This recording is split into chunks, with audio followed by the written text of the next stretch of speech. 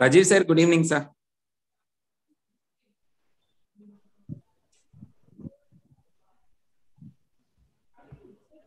Rajiv sir, are you able to hear us? Good evening, sir.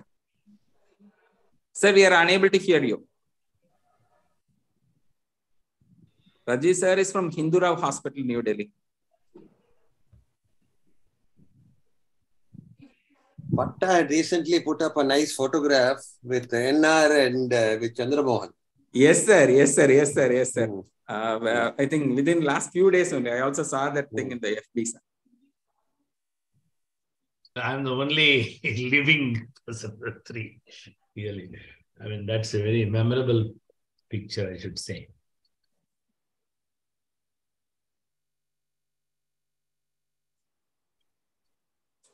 We have uh, Professor Jailal joining in. Uh, Jailal sir, good evening, sir.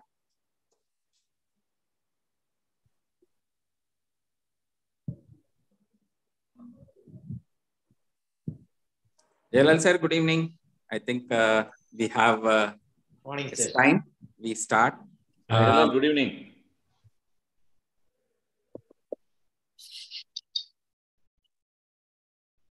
Jailal sir, are you able to hear us? Yes, yes. Sorry, I just good, sir. Good, good, good. Okay, Jailal. it's time. I'm sorry, sir. I have to. Uh, Yeah, can I have we'll the go ahead. permission of starting the session, sir? It's eight o'clock. please, please, go ahead. Yes, sir. Uh, good evening, friends, uh, senior professors, uh, our uh, invited faculty for the day, uh, our teacher of teachers, our mentor, Professor Ananta Krishnan, sir, who is the Dean Research from the Mahatma Gandhi Medical College, and he served very long time in the JIPMER, educating generation after generation of uh, professors and head of the departments. Thank you, sir, for joining us today. Uh, we have uh, the most famous uh, surgical gastroenterologist of the globe, Patta sir. Uh, he's very popular for the learning general surgery, and now it has become let us learn surgery, who has more than 40,000 surgeons under his, uh, uh, say what to say, the people continue to learn and enjoy learning on his platform on various surgical issues. And he teaches surgery and associated social things of surgery as well. And it's been a very honest critic of whatever he feels and uh, he feels he shares with us. Thank you, sir. And uh, we have uh, our good friend and uh, current uh, head of the department of Vellore Medical College, Professor Rajvelu, sir. Again, a very eminent teacher. We met very recently last week also, and has been kind to travel all the way from uh, Vellore for a academic program at the ASA auditorium at Chennai. Thank you, sir. And uh, we expect uh, Professor Birappa to join shortly. And uh, we have our uh, the Commonwealth Secretary General, Professor Jailal, and he also is the head of the department uh, from Kanyakumari Medical College, who's been with us for the past uh, three years almost. And Professor Karnakaran sir, Professor uh, Karnakaran sir is from Madurai Medical College, and um, Professor Rajiv Sahai sir from uh, Delhi, and we have a Professor Sri Hari Rao sir from SWIMS Hospital, Hyderabad. And I also wish a very good evening to all the people who have joined in the YouTube. And we have two brilliant postgraduates. Uh, one is uh, Vinay. Vinay is kindly contributed by Professor Rajgopal Chennai from Kasturba Medical College. And um, uh, we have Gautam. Gautam is from uh, Madras Medical College Institute of General Surgery, kindly contributed by Professor P.S. Shanti. So um, now I uh, request the students to take a call. Uh, Gautam or uh, Vinay, who wants to take it first? I'll go first. Gautam, fantastic. So Gautam, uh, can you please introduce yourself? Your uh, tell, tell about your assistant professors, your unit chief, and the head of the department. Start your presentation. Faculty, a kind reminder: uh, the student uh, will be allowed to present the history part without stopping. At the stop of the history, end of the history, he, the slides can be revisited from one, two, three, so that you can give your comments or ask questions or whatever you would like to add upon. And then uh, same way during the clinical presentation, he is allowed to present in a whole. And once he arrives at the diagnosis, you can visit all the slides again to ask questions. And then we have one hour for each case. So the initial part can be related to this patient, investigations and management. And definitely you can take him further depending upon his expertise in it. And I request if the candidate struggles to give an answer or something, I request the teachers to give the answer what they are expecting out of the student. So then we keep moving further so that the discussion goes rolls upon. So this is my humble request. And uh, we have our own faculty who has been with this journey for the past three years, who also can chip in to give their comments and questions. So I wish both the students well, and uh, I request Gautam to start his presentation. Thank you very much. And friends, I should share something very important. We have now crossed uh, 12,100 subscribers for the PG clinics. So that is a recent achievement. The earlier one was uh, close to 4 lakh views. And uh, this week we have crossed 12,000 subscribers for the program. Thank you all the faculty who are contributing for the last three years. And uh, thank you all the dear students who have been working towards this. Thank you very much. Gautam, stage is yours. Good luck to you. Thank you. Sir, myself, I'm Dr. Gautam, a final year postgraduate from Madras Medical College. My chief is uh, Professor P.S. Shanti ma'am, uh, Director of uh, Institute of General Surgery. My assistant professors are uh, Dr. Kamal Raj, uh, Dr. Vikas, Dr. Kudiyarsu, and uh, Dr. Rajeshwari. And uh, I, I sincerely thank uh, Dr. Kanagavel sir for giving this opportunity, and I'd like to start my presentation. A 60 year old gentleman hailing from Ranipet, former by occupation, belonging to low socio-economic class, presented with complaints of pain in the right lower abdomen for the past one month. History of presenting cancer. The patient was apparently normal one month back when he developed pain in the right lower abdomen of one, one month duration. Insidious in onset, continuous dull aching type of pain, localized to the right abdomen, and it was gradually progressive. There was no migrating or radiating or re- referred elsewhere. No specific aggravating factors. It was relieved with analgesics. History of uh, melena present, eight episodes for the last 15 days. History of uh, loss of appetite and history of unintentional weight loss is there. Uh, the patient also complains of a history of easy fatiguability. There was no history of vomiting, abdominal distension, or blood, uh, bowel habits. There was no history of fever or cough with uh, protective sputum.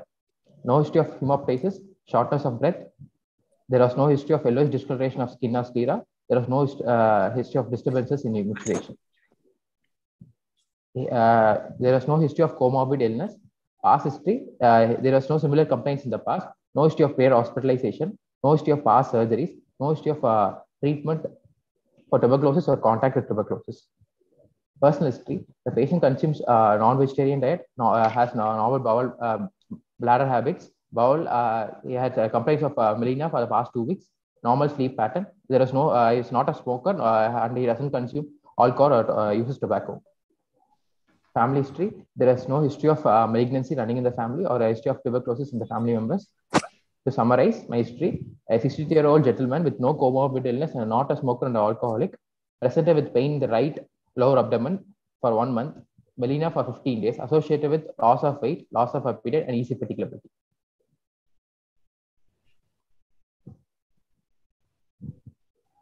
Can you go to the first slide?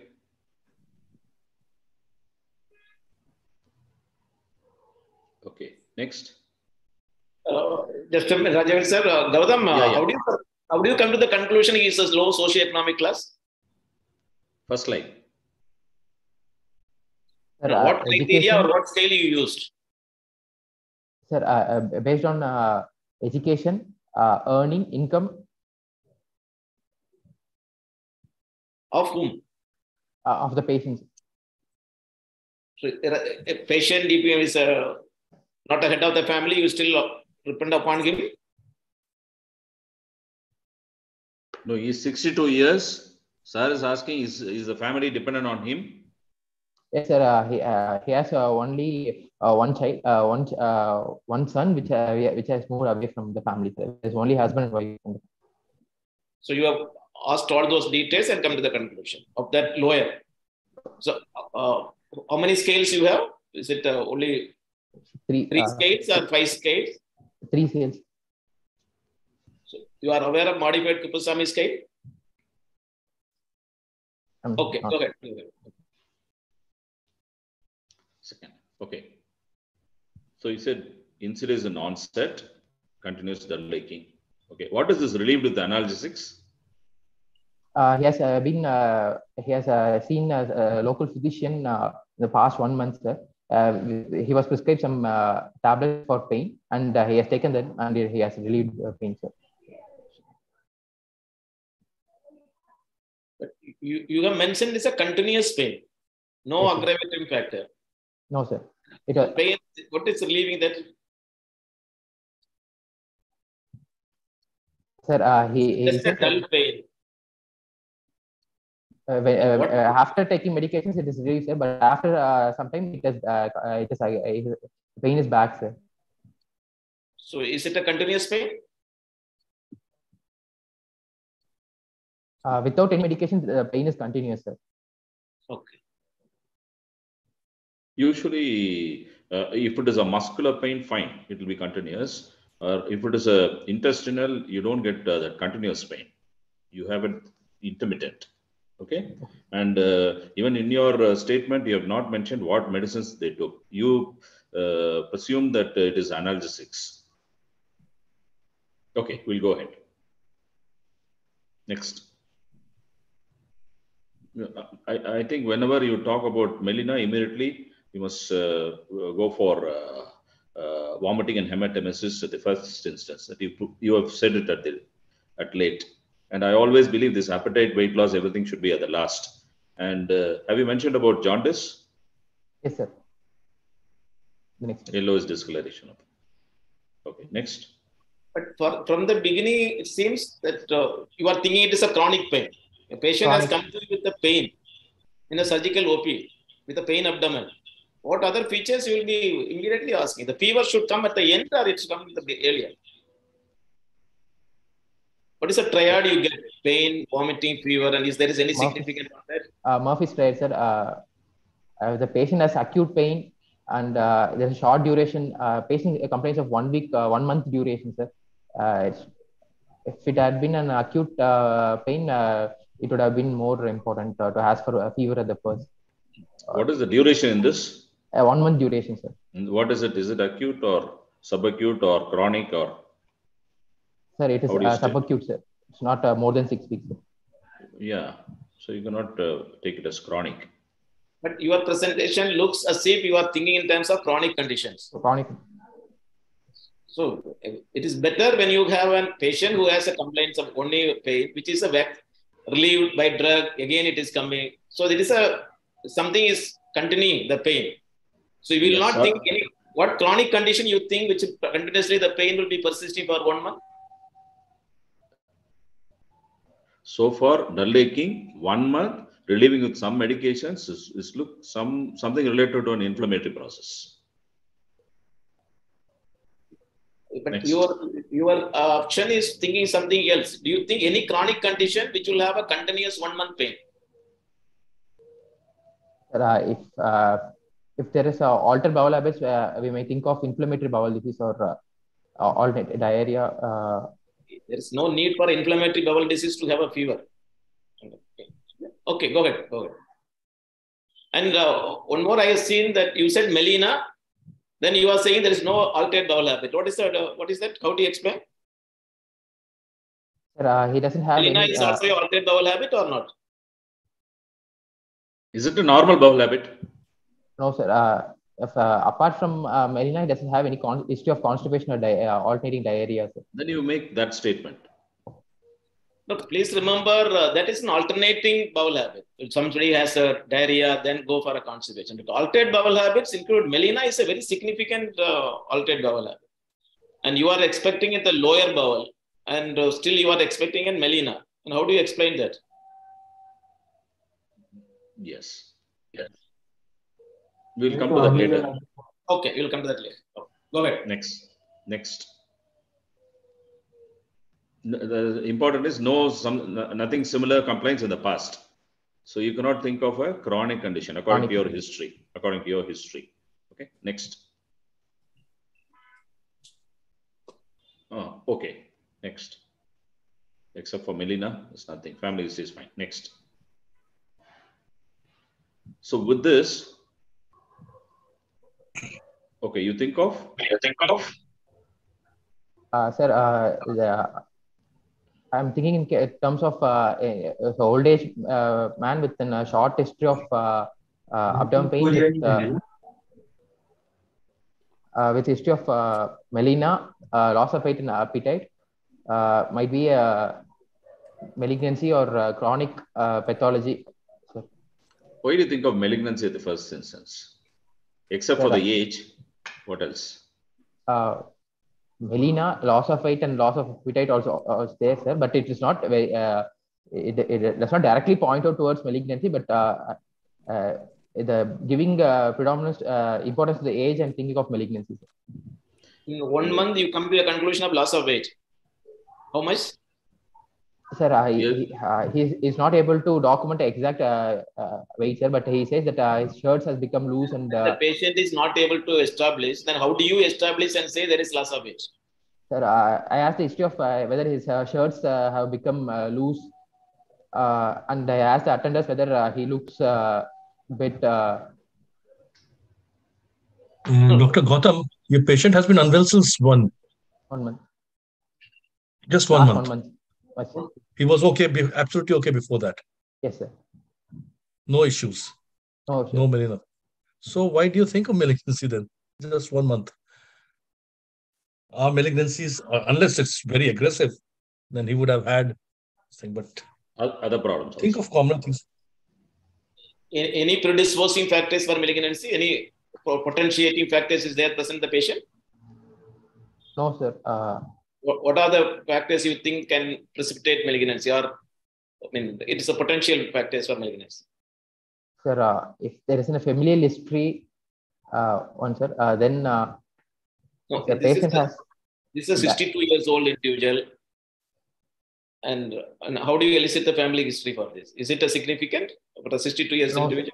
No, sir, uh, it's not significant, sir. It will be from the from the uh, age of uh, 20 years at least. Uh, he would have had any symptoms. Suppose his first degree relative, somebody has a malignancy at less than 50 years, then it is significant. Significant.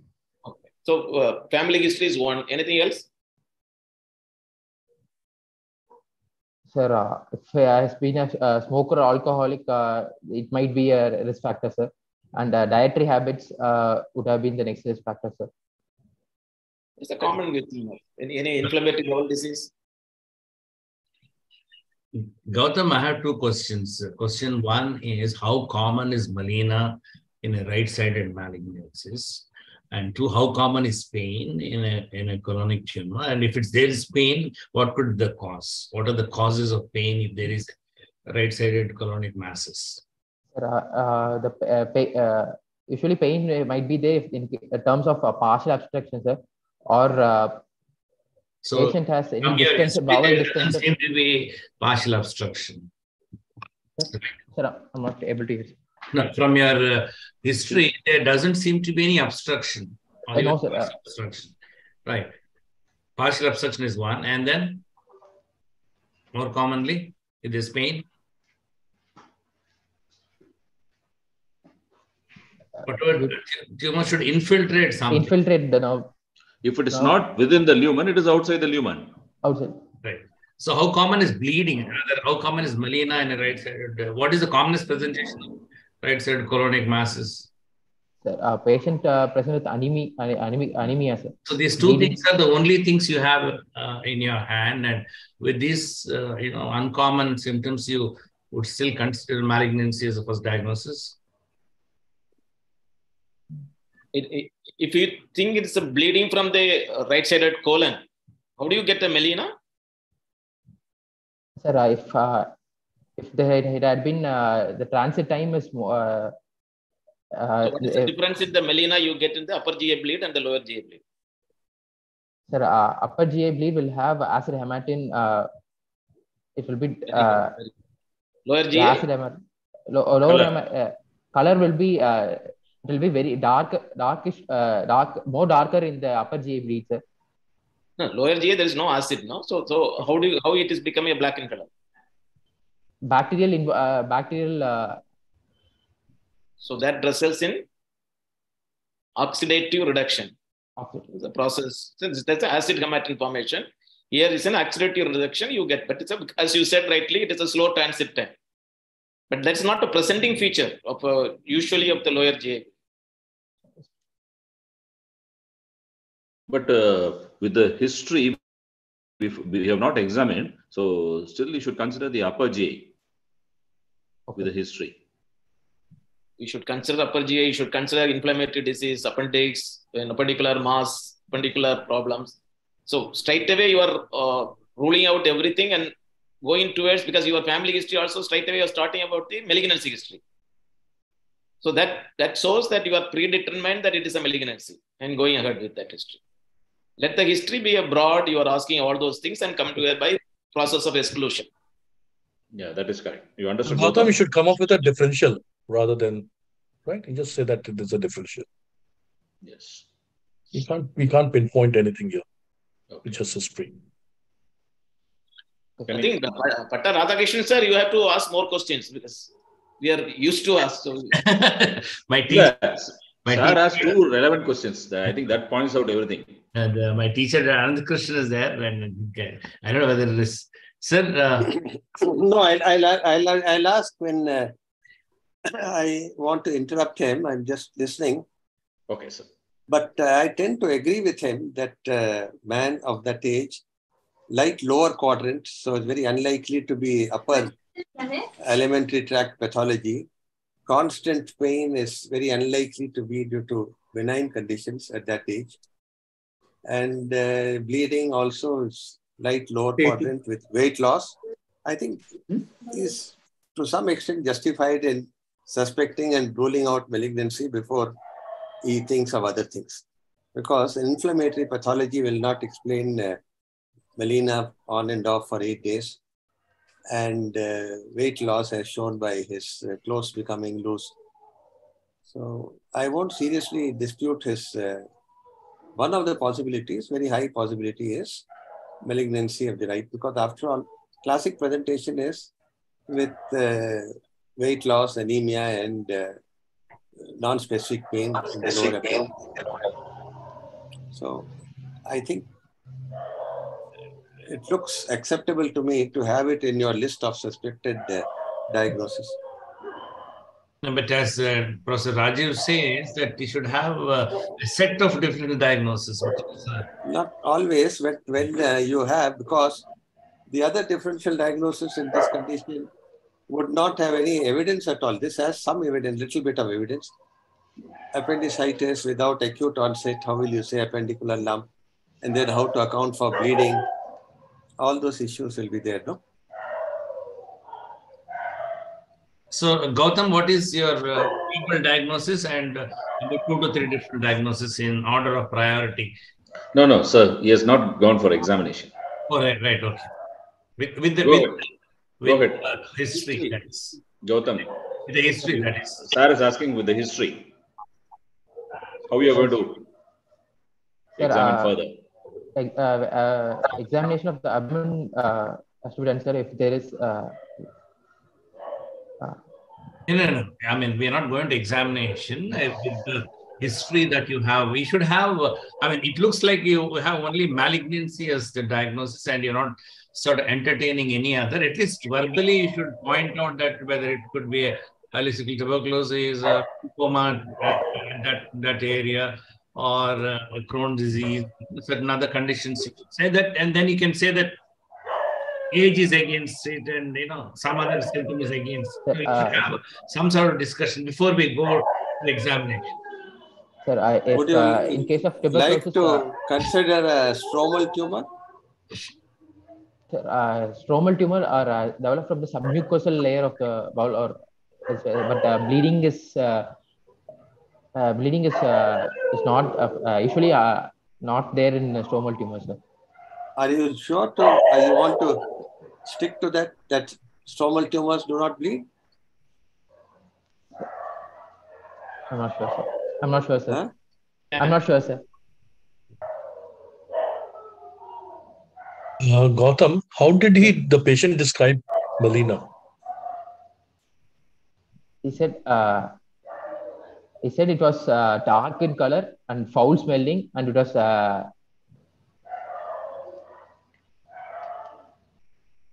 uh, it was uh, hard to wash.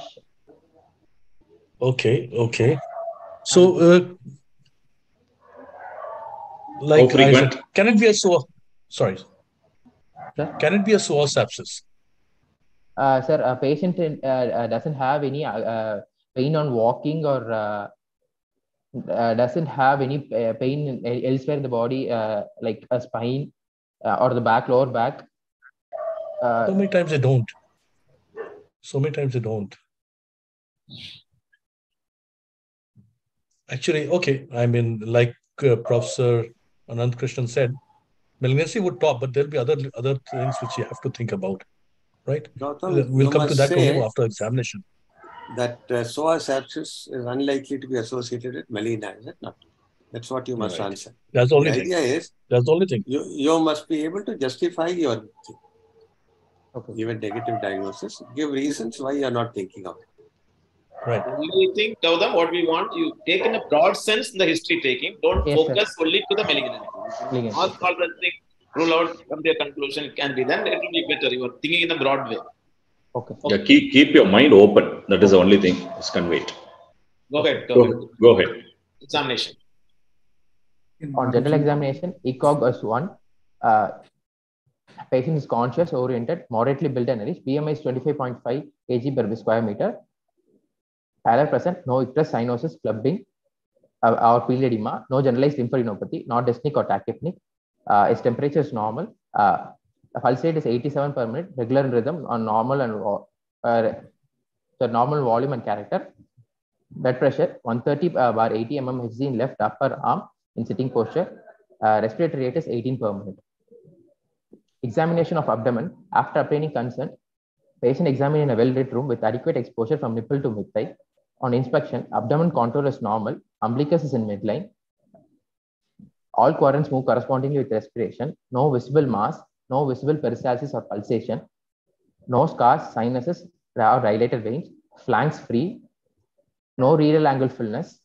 Hernial orifice free and external genitalia appears normal. This is a clinical photograph of the patient. You talk about pulsation also. Okay.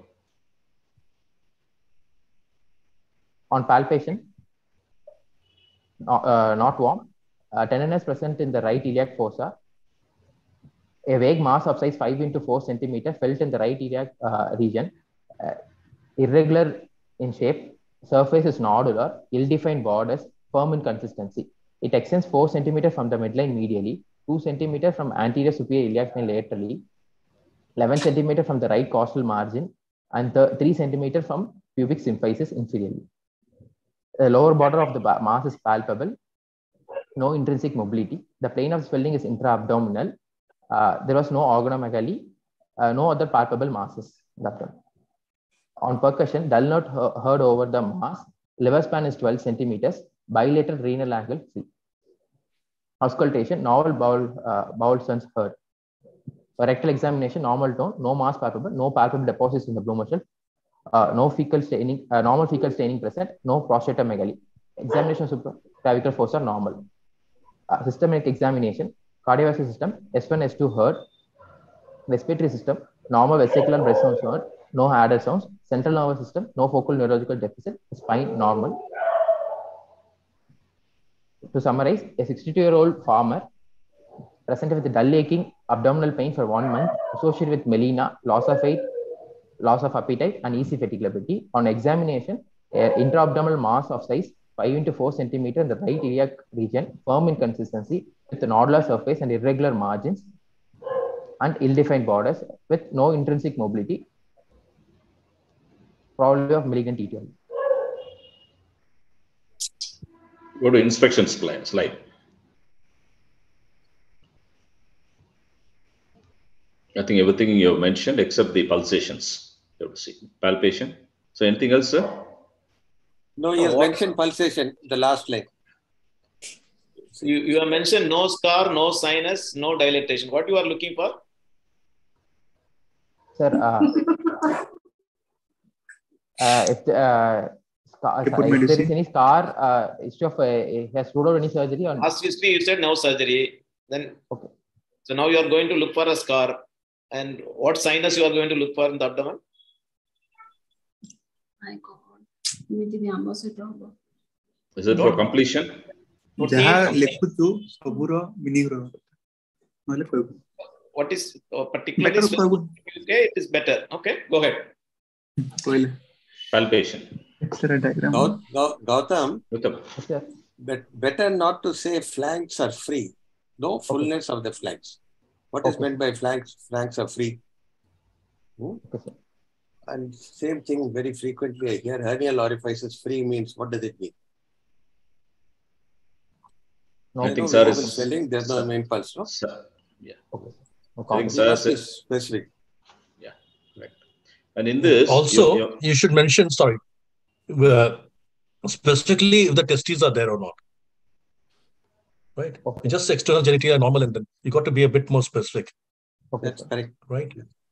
and in Yeah, Guru, palpation. Gautam, in palpation, you mentioned tenderness, tenderness present in the right iliac fossa. Is a mass tender? Uh, sir, uh, while on deep palpation, it is tender, sir. That you have to mention because that will give, uh, uh, it is a point, no, that we have to consider. Another thing, the lower border is palpable. What about the other borders? Sir, uh, it was You uh, said all the borders irregular are borders. ill-defined. Yeah. uh, ill-defined borders, sir. Borders are all borders are palpable, sir. I Gautam, think, your uh, your mass is intrinsic mobility is not there. That means it is fixed mass. Then Yes, how do you come to a conclusion? It is intra-abdominal. Sir, uh, uh, leg raise, uh, I was able to make, ask the patient to like, raise his legs. Well, well, not mention all those things, but you have put two words. Intrinsic mobility is no. That means the swelling is fixed swelling. Fixed, It's not yes, sir. movable. Mobile. But you are next line you are saying it is intra-abdominal. you- So what you- intra-abdominal swelling will have uh, no uh, no intrinsic mobility. Sir, uh, any lymph node enlargement or uh, uh, retro, uh, even it can be retroperitoneal uh, structure, sir, or it can be uh, So what is your swelling? It's a retroperitoneal swelling or it is in the peritoneal? No, no, the sir's question is, how did you You, you are first saying it is intrinsic mobility. You are not talked about whether the swelling is moving with respiration or not. Because anywhere we are not there's a mobility during inspiration. It's not there. But uh, intrinsic mobility, you are coming to that. Uh, surface is smooth, huh? It's a What is irregular, yes, man. uh, nodule. Nodular, yes, man. Surface nodular. nodular prominent. And uh, second thing is this uh, uh, saying four centimeter from middle, uh, five centimeter from. Doesn't make sense. It is not necessary. When you are saying that the swelling in a particular region in the postgraduate level, that is more important. And see, now you are saying the swelling is in the right side, but why do you want to measure from the pubic symphysis? You are saying five centimeter above the pubic symphysis. It is no no relationship there. So please try to avoid that. You say that is a swelling where you are within the region concept. If you say it is good, and the size is also you have mentioned. So you are not tested for whether it is intra-abdominal or uh, retroperitoneal or it is on the surface.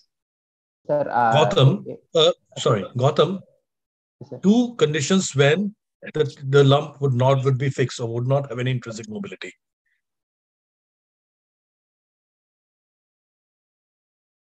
Either it's inflammatory or it's malignant which has infiltrated. Right? Infl- infl- okay. Yes, sir. So, so you should just answer that. That it's uh, you think it's in, it's infiltrating, right? Effectively, this is a hard nodular fixed swelling. All right, but that will take away a few of the diagnosis. So please, this is form. Oh, right. Oh. No, again, irregular surface, ill-defined model, all we can't tot- rule out malignancy, I mean, uh, inflammatory condition at this stage. Only form Um, But- yes, inflammatory swelling can be also produce a, a fixity. Deva, Inflammatory. Yes, sir.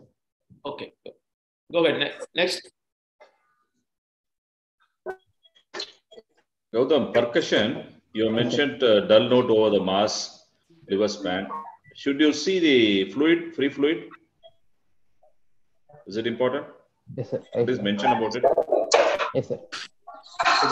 means if the mass is arising from the colon and if it is not producing obstructive symptoms, that means still there will be air. Yes, sir. Still you will get imbibed resident more than specifically saying it is a growth. Is do you think an exophytic growth? It is usually the growth is not exophytic growth. Going. But are you sure that you are confident at that area you got only a dull node fully? Yes. I, I was able to make only dull note over there. Where do you look for renal angle in this case? Sir, uh, sir, How did you look for renal angle and why did you look for renal angle? sir, uh, lower border of 12th rib and paras minus. Uh, no, I know.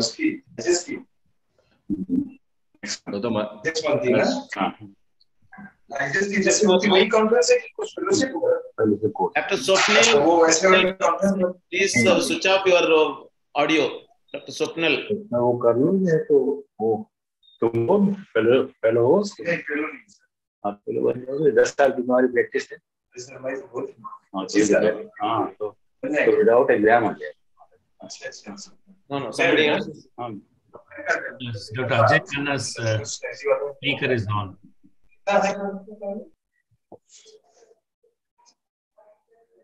uh, Gautam, yes, sir. Gautam, Yes, sir. see, you have to mention about the, the note over the mass, and uh, of course, uh, Libas is there. And uh, as Ananda Krishnan sir said, uh, renal angle, uh, uh, fullness only. You, you don't mention about whether free. What, what, what we exactly look for here is there any resonant node. That is, nothing is being occupied. Indirectly, if the free fluid is there, you'll you might have a altered node. Okay, so you must mention about free fluid. And uh, usually, if in a firm firm mass, you and in over over the uh, intestine, you get some. You don't get dull node. You, as uh, Professor Jailal said, uh, you get a different note, not a dull note. Okay, but but you have seen the patient, you're given inference. Okay, next. So Gautam, if uh, is a fixed no fixed mass on the right colon, for instance, will there uh, ever be a possibility of something? Uh, uh, uh, is, is the renal angle on the right side to be full, or you know, uh, I mean, uh, if you have to link the uh, fullness of the right renal angle and the mass, what will you are thinking? Uh, with, what is your line of thinking? Sir, uh, if, if it, it, it might be an unascended kidney, uh, Um, no. If Nothing it will come into the renal angle. fix unascended kidney will not come into the renal angle, as Professor Jailal says. The mass you feel itself may be unascended kidney, if that is one of the diagnoses you think of. No, What, what else can cause a swelling in the renal angle with a carcinoma colon? Particularly one which is fixed. Can you think of anything? Complication of that which can cause a swelling? sir, uh, obstruction of ureter may, may cause uh, uh, hydroureteronephrosis, uh, when leading to a mass. question in is- the, sir. question is asked, you must try to explain why you look for it, is it not? Okay. That this could be extending posteriorly, obstructing the ureter, leading, leading in hydronephrosis. And you wanted to see whether it is there or not. That is why when the question asks, why do you want to look for it? Uh. You must uh, explain. Why you want They are, Okay. they are not, uh, the question is not meant to tell you that you should not see. The question is meant to find out whether you know why you're seeing.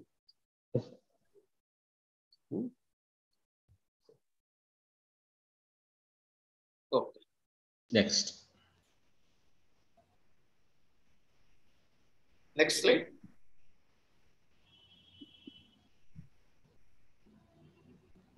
Supraclavicular fossa normal, it's better to say no palpable lymph node.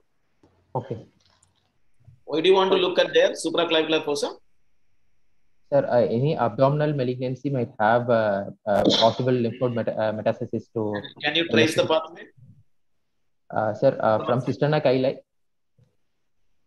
from uh, cisterna chyli to thoracic duct, sir, uh, uh, insertion of thoracic duct is at left uh, junction of uh, left subclavian vein with uh, internal, internal jugular vein. So, I mean, communicating from which opening? Goes along with which to the uh, thorax, in the diaphragm. In the diaphragm. sir, uh, aortic opening. Good. Okay. Uh, So, uh, So how uh, does it reach the lymph node? You have not explained how it reaches from the thoracic duct to the lymph node. Sir, obstruction of the uh, uh, uh, retrograde spread from the thoracic uh, duct to the uh, lymph nodes. Sir. Retrograde spread.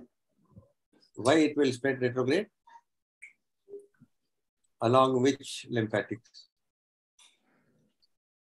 If it is a retrograde, it should come through the thoracic duct. You said it will come back. No, sir, uh, That is retrograde, no? So same thoracic duct, it is coming Why, back. why is there, the, it opens into the confluence, no? So why is there no blood in the thoracic duct?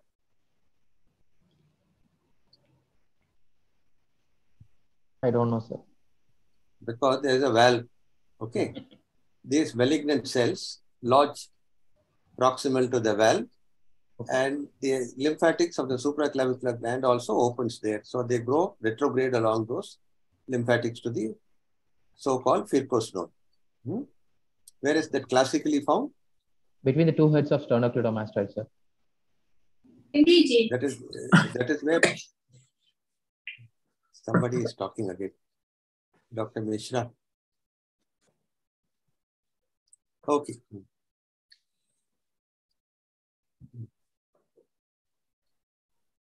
You look for a deposit in the Blumer shelf.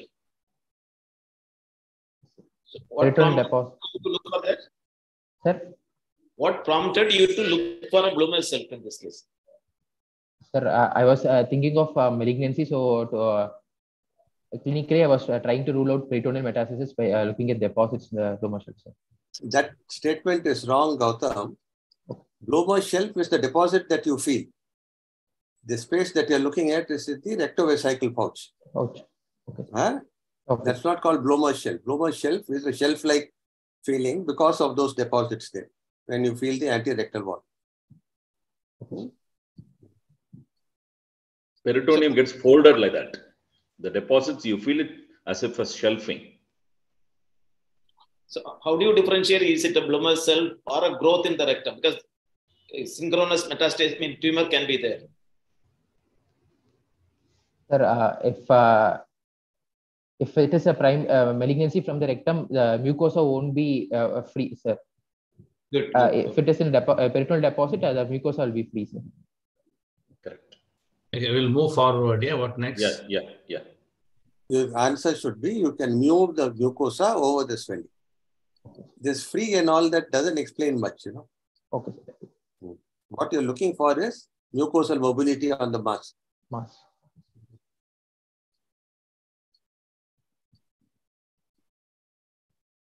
So what are the diagnosis you are left with? You have only one, anything had to be added, subtracted?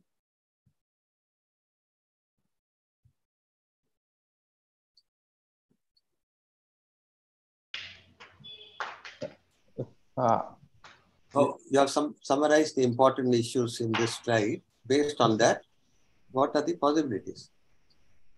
sir, uh, malignancy my, would be my first uh, Malignancy is never a diagnosis, you know. Malignancy is a layman's term. lame. Okay, sir. Uh, right, uh, uh, right colon malignancy uh, would be the prob- uh, malignancy of Nothing uh, Don't use the Carcinoma. Again, The you are saying carcinoma light colon carcinoma cecum would be my carcinoma of first. the. Cecum my- would be my first diagnosis, sir. Uh, okay, then Uh, at this stage, uh, see the from Dr. Jailal, others have pointed out this type of bleeding to the extent of producing melena continuously for eight days is unusual in carcinoma of the cecum. Usually you get occult blood, chronic blood loss, and they present with anemia. So is there any other possibility you want to keep in mind or you have ruled out everything else? With significant bleeding and the right side mass. Can this be a lymphoma? Do they have? Do you have bleeding in those cases? Sir, lymphoma, uh, usually be, bleeding won't be there, sir. Uh, uh, bleeding won't be there in lymphoma, sir. Uh, it is. Uh, it also develops from uh, from the. Do you get such irregular mass? a- a- a- in irregular masses uh, can be uh, uh, found in uh, tuberculosis, ileocecal tuberculosis also, sir. Uh, with Did you get bleeding there? uh, no, sir, there, there won't be bleeding, sir. Uh, uh, the differentials are uh, not fixed, uh, appropriate uh, with the history of uh, loss of weight, appetite, and uh, melena, sir. It does not correlate with uh, anything else than malignancy, sir. Here. You won't even think of possibility of stromal tumor. Sir, uh, stromal tumor, uh, What is the size of stromal tumor in order of frequency of occurrence? sir, uh, stomach, Uh, next to that, uh, followed by uh,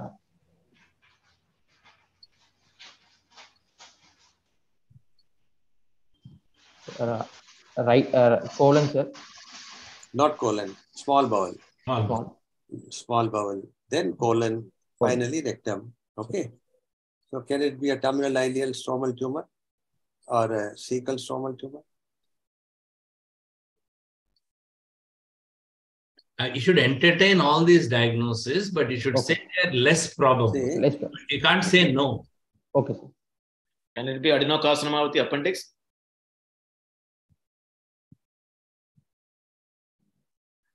Adenocarcinoma of appendix. Uh, Because we are little worried about the pain because you are saying one month continuously patient has a pain.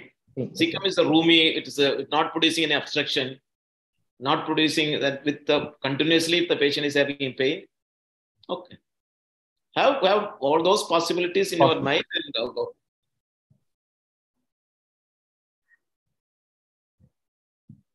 see, if you tell only one diagnosis, then it looks little difficult in the examination.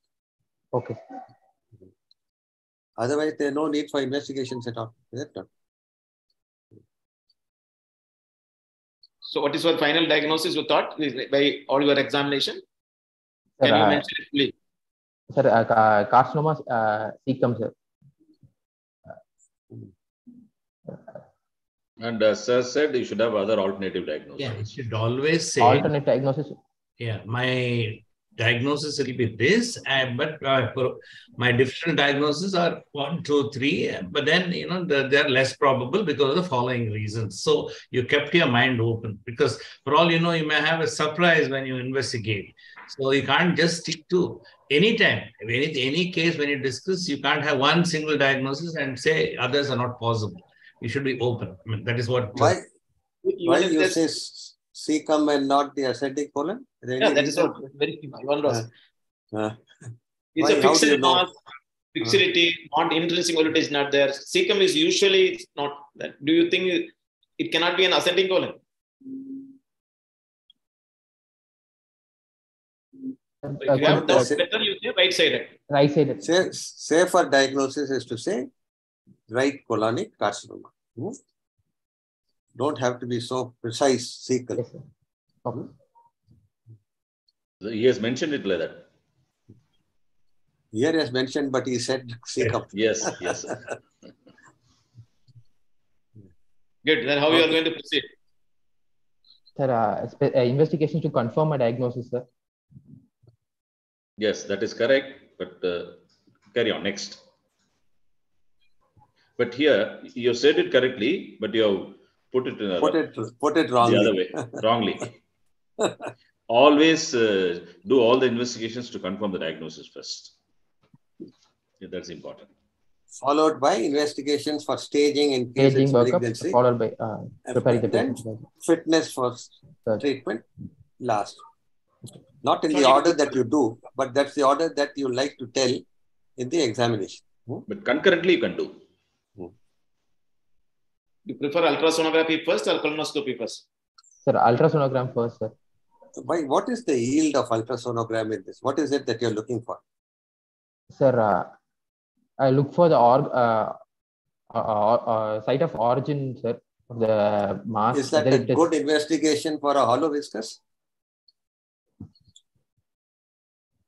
Uh, no, sir, uh, but uh, whether any ma- liver uh, liver enlargement is there or any uh, No, no, no, you should answer no, no, no. Professor No, no. Rake's question straight. No, no. My, my question was, if you find a mass, are you just happy with that? Is it something that will give you the diagnosis? Oh, sir. I'll put it in other words. As Sir said, the investigation to confirm my diagnosis. What is the first one? Uh, to confirm my diagnosis, if it is a luminal pathology, I have to go with the colonoscopy. It, is it a luminal pathology? Uh, yeah. Yes, sir. Bleeding is there. Uh, What is your diagnosis? Wh- What Uh, is a carcinoma colon if not? a- carcinoma colon, sir. Uh, then Uh, no, it's, it's a it's a Well, luminal Gautam, pathology. Gautam. Yes, sir. Gautam, Yes, sir. you have to first decide whether it's a luminal pathology or anything else. So you do an ultrasound, you do an ultrasound to see whether it is luminal within the lumen or outside, plus other features of malignancy. If you get any any this thing, then you go in for you can't just go in for colonoscopy straight away.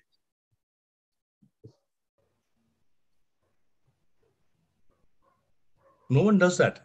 Ultrasound will tell you it can, right? That's us.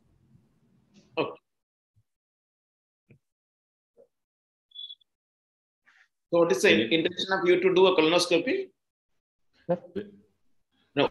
What, what all you are going to look in the colonoscopy? Uh, Sir, uh, extent of uh, uh, whether the it is a luminal pathology, sir. Uh, whether the uh, there is a uh, growth from the colon, sir. If extent of the growth and there is any asynchronous malignancy in other parts of the colon, sir, and rectum. Suppose you get not, into only, not only synchronous malignancy, but pre-malignant condition, polyposis. Is that not? what are the primary conditions?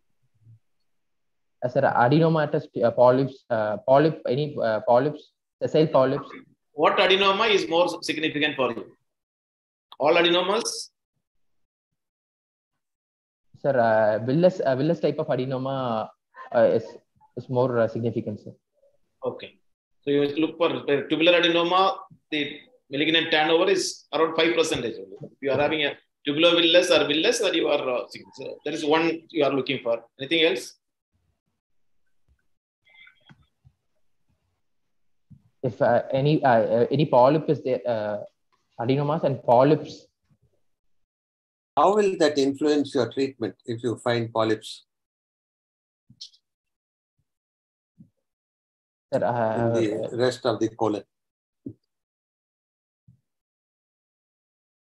Sir, uh, if uh, So if there is a right-sided colon, you said, you will do a right hemicolectomy. Suppose you have a polyp there, and it it is going to change your treatment plan, or you will only do with the sir, I, uh, we, we have to rule out uh, any uh, pre uh, the polyp has to be biopsied or uh, has to be uh, removed uh, against. Uh, No, no, no. No. There are 20 polyps. Okay. Which one you will biopsy? All of them? No, sir. Is it a polyposis coli or not? In other words, Professor AK wants to know when you will you call it a polypos, familial polyposis coli? It when there are more than 100 polyps, when there are more than 100 polyps, uh, we can call it as uh, uh, a polyposis there's more, more than 100 polyps, will the treatment change? Sir, yes, sir. Uh, if there is more than 100 polyps, there are, uh, uh, uh, the, the, the, the number of polyps will uh, have the higher risk of uh, malignancy, sir. Uh, then we might have to go for a total proctocolectomy with uh, what is the of, uh, probability of uh, polyposis coli turning into malignancy? uh, sir, 100% uh, sir, if uh, there is Will you do upper GI? Sir, upper GI has to be done, sir. Uh, history of uh, duodenal adenomas and gastric uh, fundal polyps are also there, sir. So, uh, G, upper GI polyp has to be done. Upper GA scopy has to be done, sir. Sir asked, no, 20 polyps are there. Which polyp you will do biopsy? Sir, uh, the largest one, Is any, any size significant? Or what size more than which is important? Among oh, I don't don't know, sir. Radhakrishnan sir, you can I mean uh, give some guidelines on that.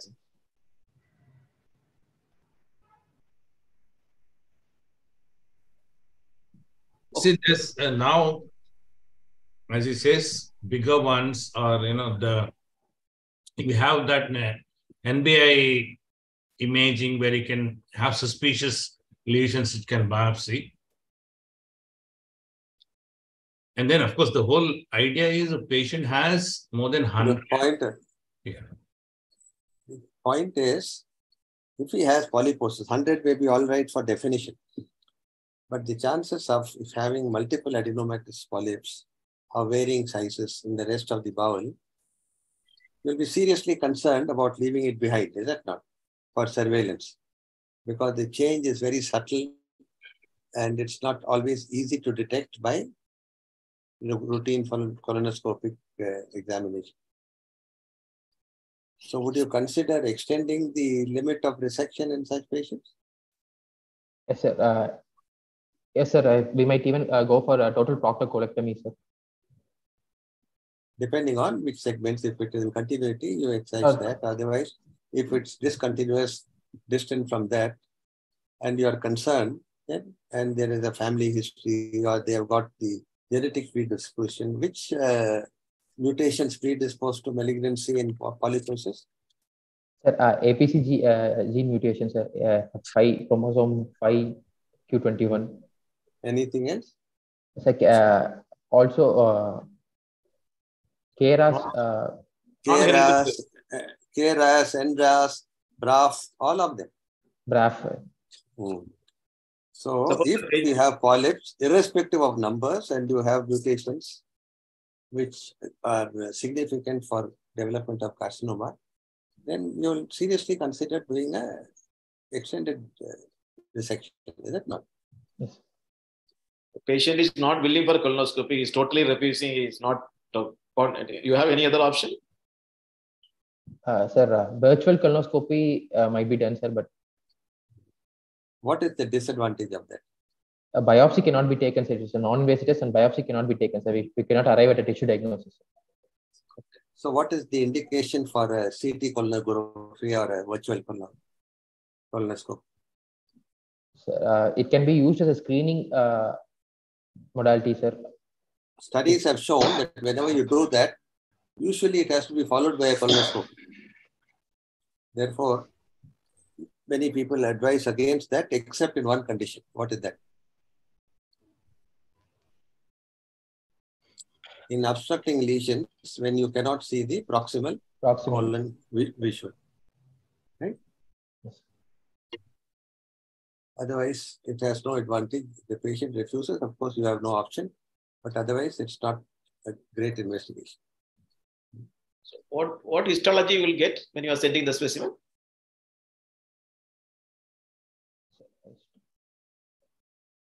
Sir, uh, ca- uh, carcinoma, uh, adenocarcinoma, uh, be Can you most, get one or two points of that?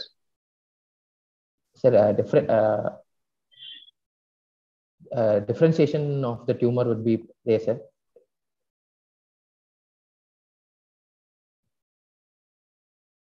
So I'm not getting a Say question. it is adenocarcinoma. What will be the uh, features of histology?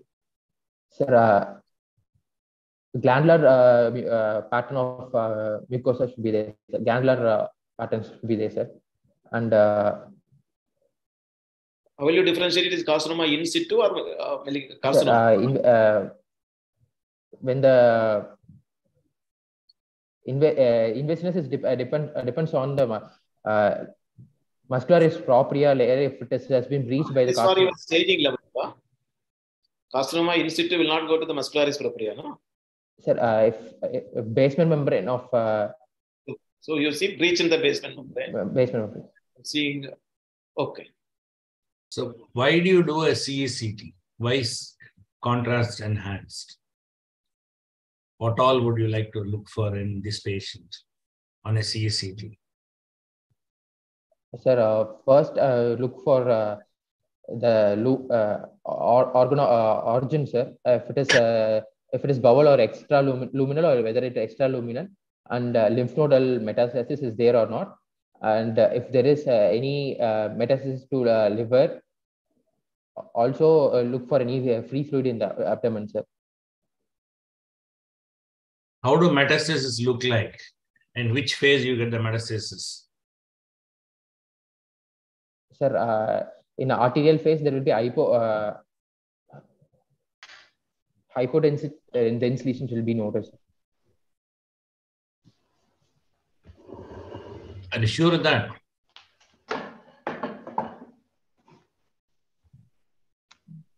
So you do a CCT. What is the idea behind doing CECT in all patients with uh, suspicious, uh, suspected uh, right colon malignancies? What all, in addition to what you already said, what else will you look for? What you're going to plan some treatment based on this. Sir, uh, whether uh, the infiltration into uh, the uh, infiltration to ureter is there or not, or any uh, vascular structure is involved. The infiltration to ureter might uh, any obstructive uh, uh, uropathy is there, hydroureter are there. Whether uh, the patient might need for uh, there is a, is there a need for uh, urological intervention in in terms of uh, uh, uh, ureteric stenting. We have to look Why for ureteric stenting if the ureter is involved?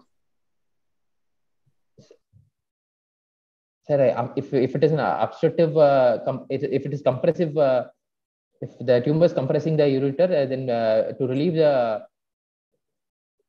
to relieve obstruction, we have uh, uh, uh, stenting has to be done, sir. So treatment of an infiltrated ureter is ureteric stenting, is it? No, sir. Uh, obstruction only, sir. If, if it is infiltration, uh, it has it has uh, gone into stage T uh, TB. What sir. else are you interested if it is infiltrating in a CECT, which is much more important? Are you not interested in the opposite kidney? Yes, sir.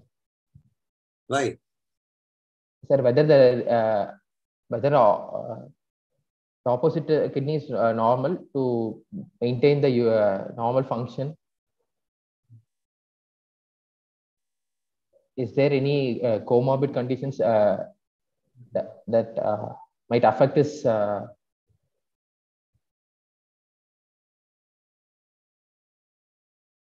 Okay, you have the reports of this? sir, uh, have uh, CCT is uh, done, sir. Uh, colonoscopy is not been done, sir. It's Okay. Can you read this? sir. Uh, Is, is there free What is note the technique for? Can you tell what is no touch technique for the resection? Sir, uh, no touch technique is uh, uh, done by ligating the vascular pedicle first without uh, disturbing the tumor uh, so that there is uh, no uh, luminal, lymphatic, or vascular spread of uh, uh, tumor cells. Sir. And then uh, after uh, ligating the vascular pedicle, we are uh, we will move on with the resection of the. No, no. What are the other components of the no touch technique? One is the ligation of the pedicle at the origin. What are the other components before you touch the tumor?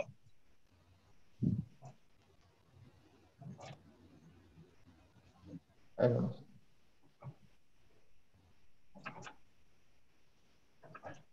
You have to cut the bowel, okay, both sides. Okay. And then you have to give the some local agents also in that area. Okay. And after that, you remove the tumor. Wait, I, There uh, are four components in that. uh, talk about the salient features of the CT, what you see here. Sir, uh, It's better you project one film because now this is not not able to read. You, you can say, you can read because you have already seen the full film.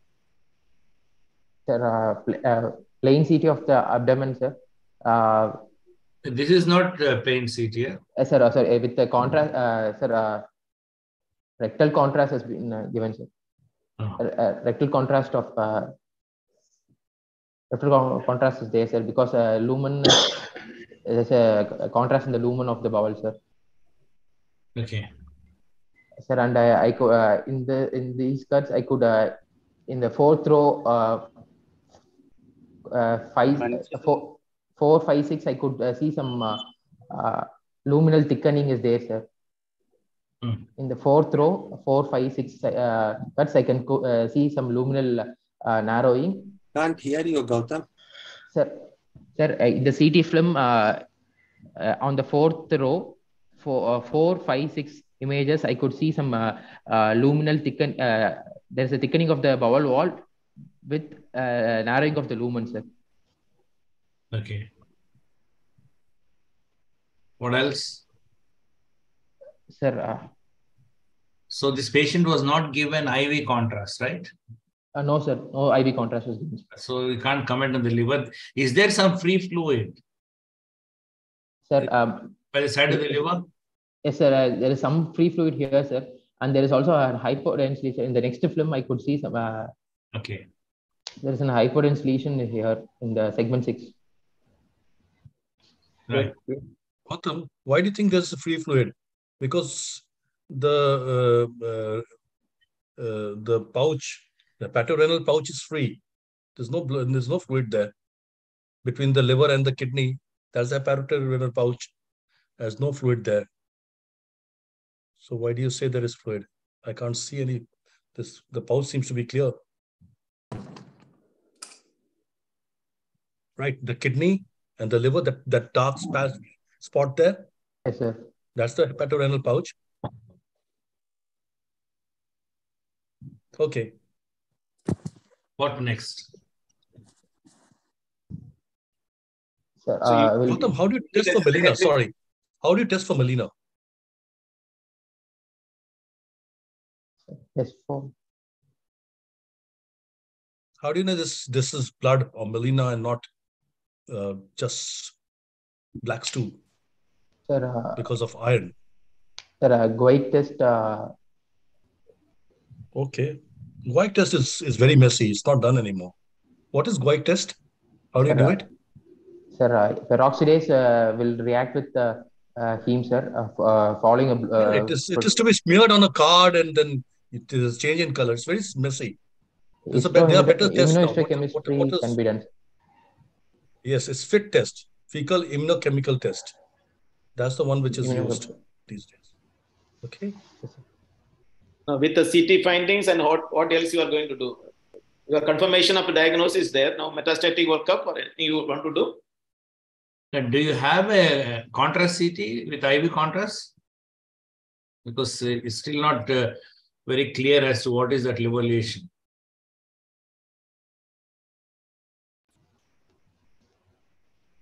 Okay. Sir, I didn't have. I don't have any. You, uh, you answer, Professor Jayala. Yes, sir. Yes, sir. How you are going to proceed with that? Any metastatic workup you want to do? Sir, uh, uh, in view of uh, this hypodense we can uh, uh, evaluate further, sir. Uh, is there any uh, tumor markers can be done, sir?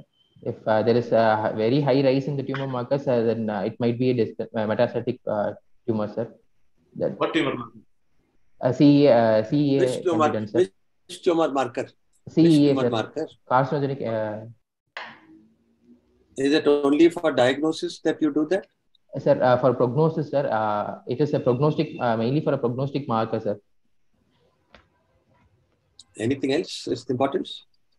Sir, uh, if uh, after resection of the tumor, uh, there should be a fall in the tumor marker, sir. Uh, if there is a fall, then uh, there is uh, no, uh, then the resection is enough. R0 resection has been done, sir. And it also, if, if more, there is, more, more, uh, more than that, yes, repeat rise in CEA precedes recurrence diagnostic, right? So for follow-up, it is very important. And you always do it before surgery because not all colonic cancers are CEA secretors. So for those on whom they are, the CEA is normal before surgery, cannot be used for follow-up. It's useful only in those where it is raised pre-op. Non-secretors. non-secretors, Indians. Uh, So This you have to do it. uh, no obstruction, no nodal involvement, right-sided. Do you think CEA will rise or on the left side colon CEA will be rising more with obstruction? sir, uh, CEA is uh, raised in only 70% of the people, sir. That is Uh, secretors and non-secretors. Non-secretors, sir. CA rise also shows it, there is a, some features of obstruction, more of lymph node involvement.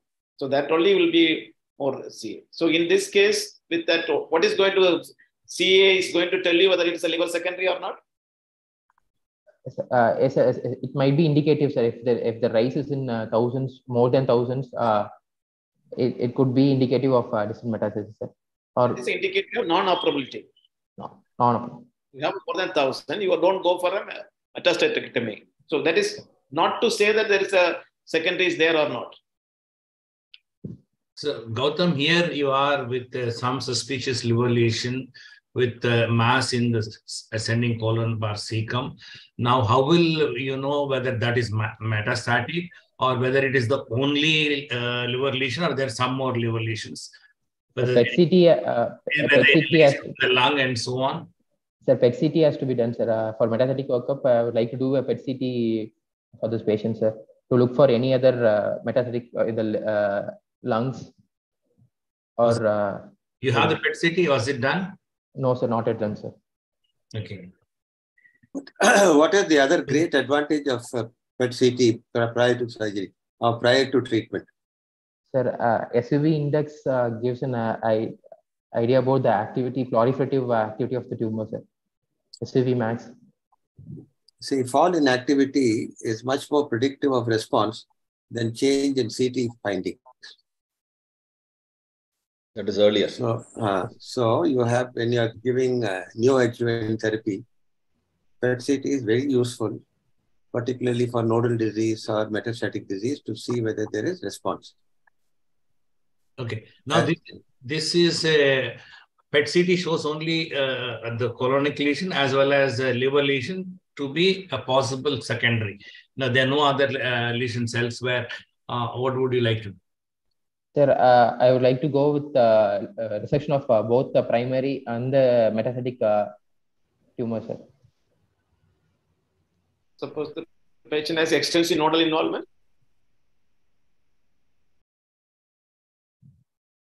Uh, if there is ex, uh, nodal, uh, extensive nodal involvement, I will. Another Uh, criteria to say that you will do simultaneous metastatectomy and uh, colectomy.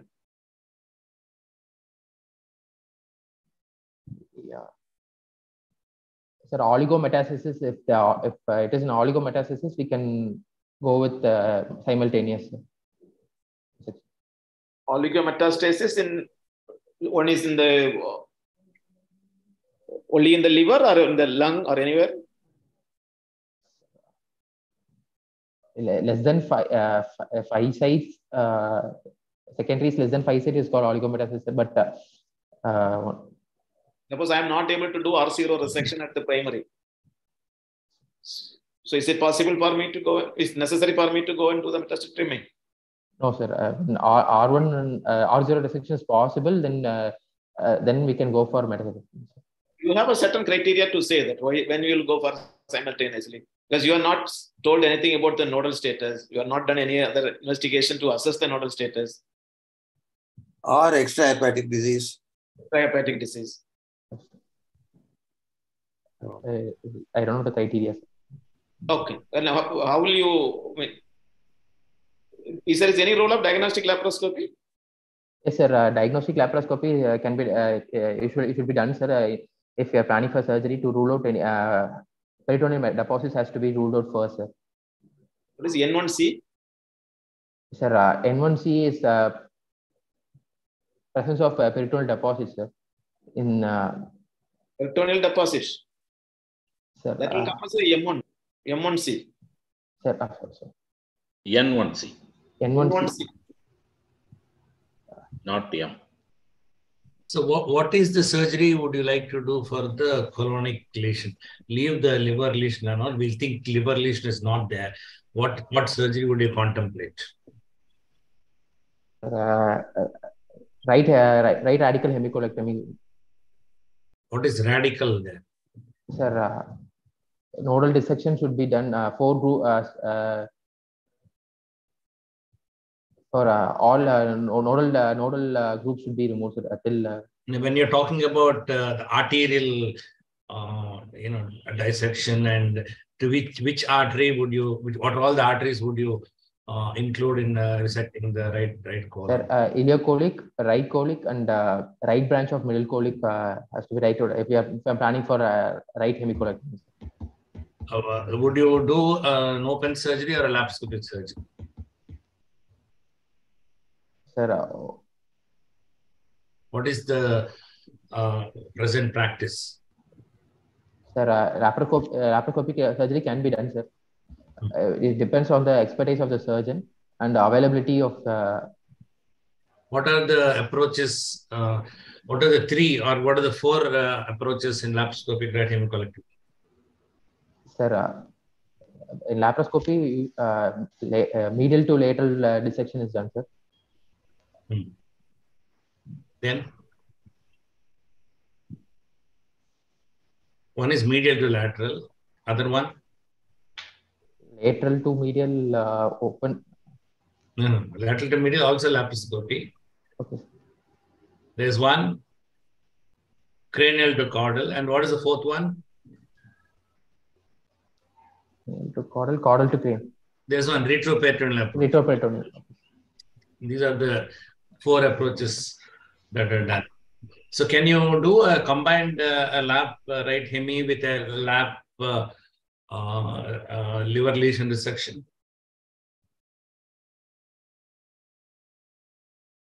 Sir, ca- it can be done, sir, if it is in the six, uh, segment six uh, of the liver, sir. Uh, it is uh, possible to do uh, lap resection, sir. Laparoscopic resection, sir.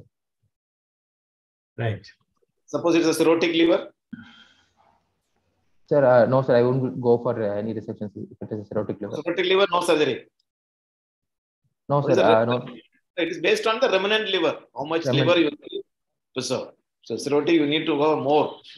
More, So there are different uh, technique. How do you augment uh, stage repair? So we are not talking about that now. So can you do any chemotherapy, neoadjuvant chemotherapy?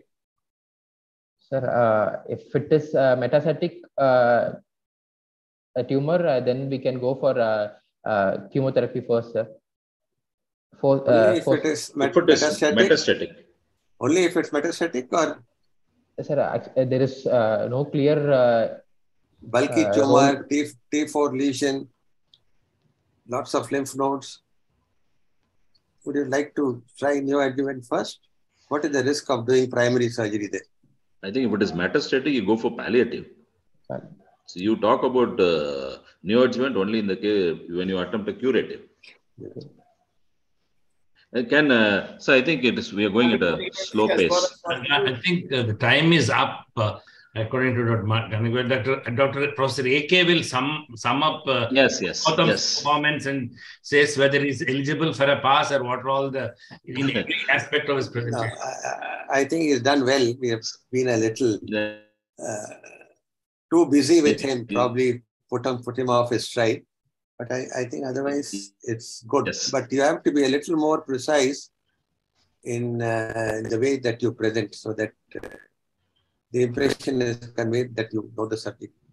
Gautam, anyway, done yes, sir. Thank you. sir. Yeah. well. Good, Gautam. You have, I mean, you have read and you have concentrated. A little more be focused. இதுல இருக்கேன் அந்த PG கிளினிக்ஸ்ல live I'll get back to you. huh? Otherwise, it is better in colonic surgery. We either talk about upfront uh, chemotherapy or upfront surgery. Even if you are it is a non you are going for, then you can go for a residual surgery. We don't talk the term neoadjuvant therapy. Okay. I think Gautam, you should have a uh, apart from diagnosis, you should have a differential diagnosis. You have a plan of investigations based on all those things, and then you come to a final diagnosis and you give a proper approach how you're going to do that. You actually practice in your hospital. All the best. Okay. Thank you. Sir. Uh, Gautam, do you have any questions to clarify with the examiners? Uh, no, sir. Do you have any doubts? Vinay, can you please wait, Vinay? Uh, no, sir. Uh, no, sir. So if you have any doubts, clarifications, the senior faculty here, do you have any questions to be clarified? Sir, no, sir. Well done, Good luck to you. Thank, you, thank you, sir. Uh, Kanna sir, are you with us? Can I start joint and then again? Yes, sir. Yes, sir. Yes, sir. He is not here.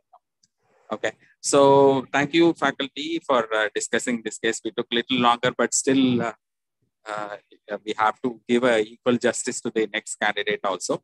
Uh, next case is going to be uh, uh, right leg for some mass. Sorry, I'm sorry, epigastric mass to be presented by Dr. Vinay. Uh, he's from uh, Kasturba Gandhi Medical College, Manipal. Vinay, uh, good luck to you. Please start your presentation. And I could see one question in the chat box.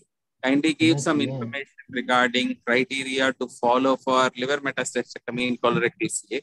Uh, I would request the faculty to kindly consider uh, taking this question now before we move on to the next case. Anand sir, would you like to take sir? The primary tumor must be able to do a R0 resection.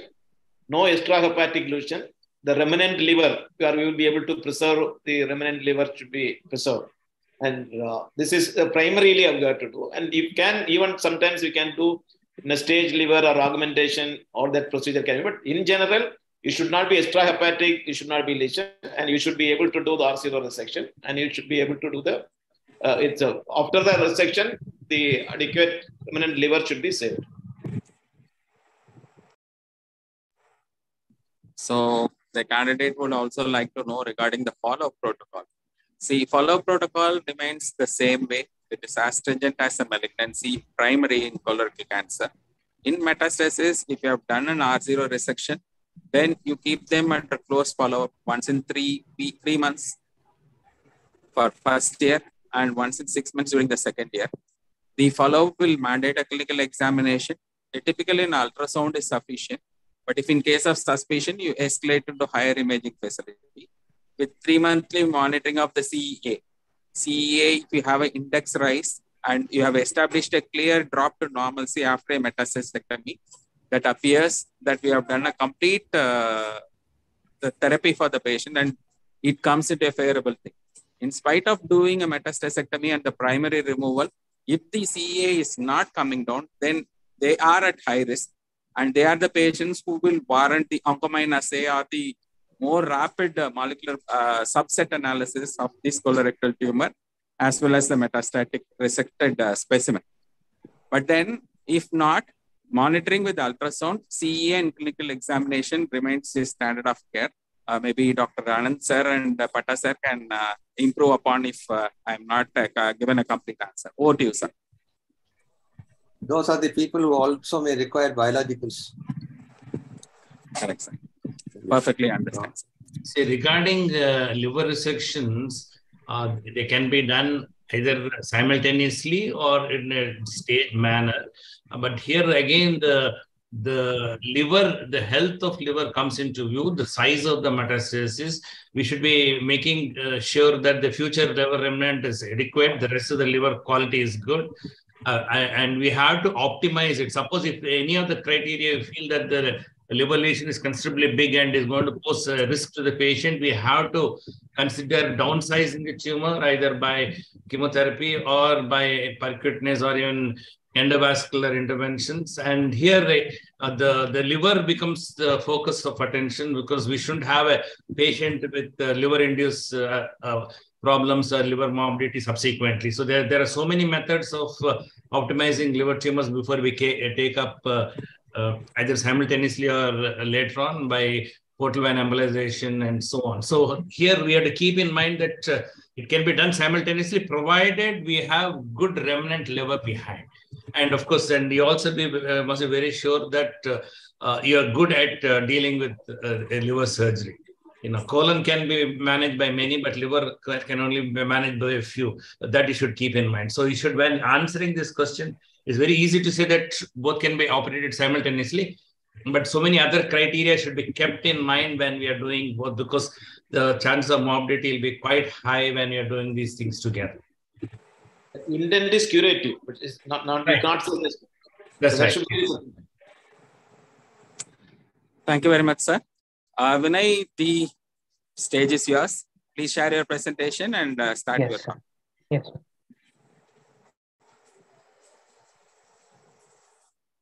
Good luck to you, Dr. Vinay. Thank you, sir. So, shall I start? Uh, Yeah, go good ahead. go ahead. Good evening. proceed. Uh, this is Dr. Vinay from KMC Manipal. I would like to thank for the opportunity to uh, present a case in this forum. So I am presenting a 54-year-old lady who is a housewife who's uh, come to the hospital with the complaints of pain of abdomen since one month and reduced food intake since 20 days. The, the pain of abdomen was insidious in onset without any progression, more in the upper middle abdomen, dull aching, constant throughout the day, which increases after consuming food. No history of radiation or uh, no history of radiation of pain, relieving factors, or postural preferences. The reduced food intake uh, history was like she was able to consume solid diet 20 days back, which eventually has reduced in quantity, and currently she's consuming only liquid diet. She has a sense of upper abdomen fullness immediately after consuming uh, the food, no loss of appetite. She has a loss of weight of 2 kgs in the past month, no complaints of vomiting or abdominal distension. Uh, she has history of dark, uh, passing dark tarry stools since 15 days and history of difficulty in passing stools. There is no history of fever with chills or jaundice. She was consuming a mixed diet before, uh, before uh, she had history of reduced, uh, reduced food intake. She has had appetite before, but re recently has reduced.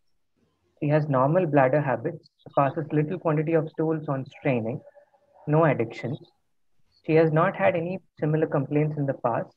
She is not a hypertensive diabetic or a patient of any cardiac condition. She has undergone a tubectomy 25 years back and a vaginal hysterectomy 8 years back in view of abdominal uterine bleeding, abnormal uterine bleeding. No similar complaints in the family. So summarizing the history, here is a 54 year old lady complaining with uh, complaints of pain abdomen and reduced food intake.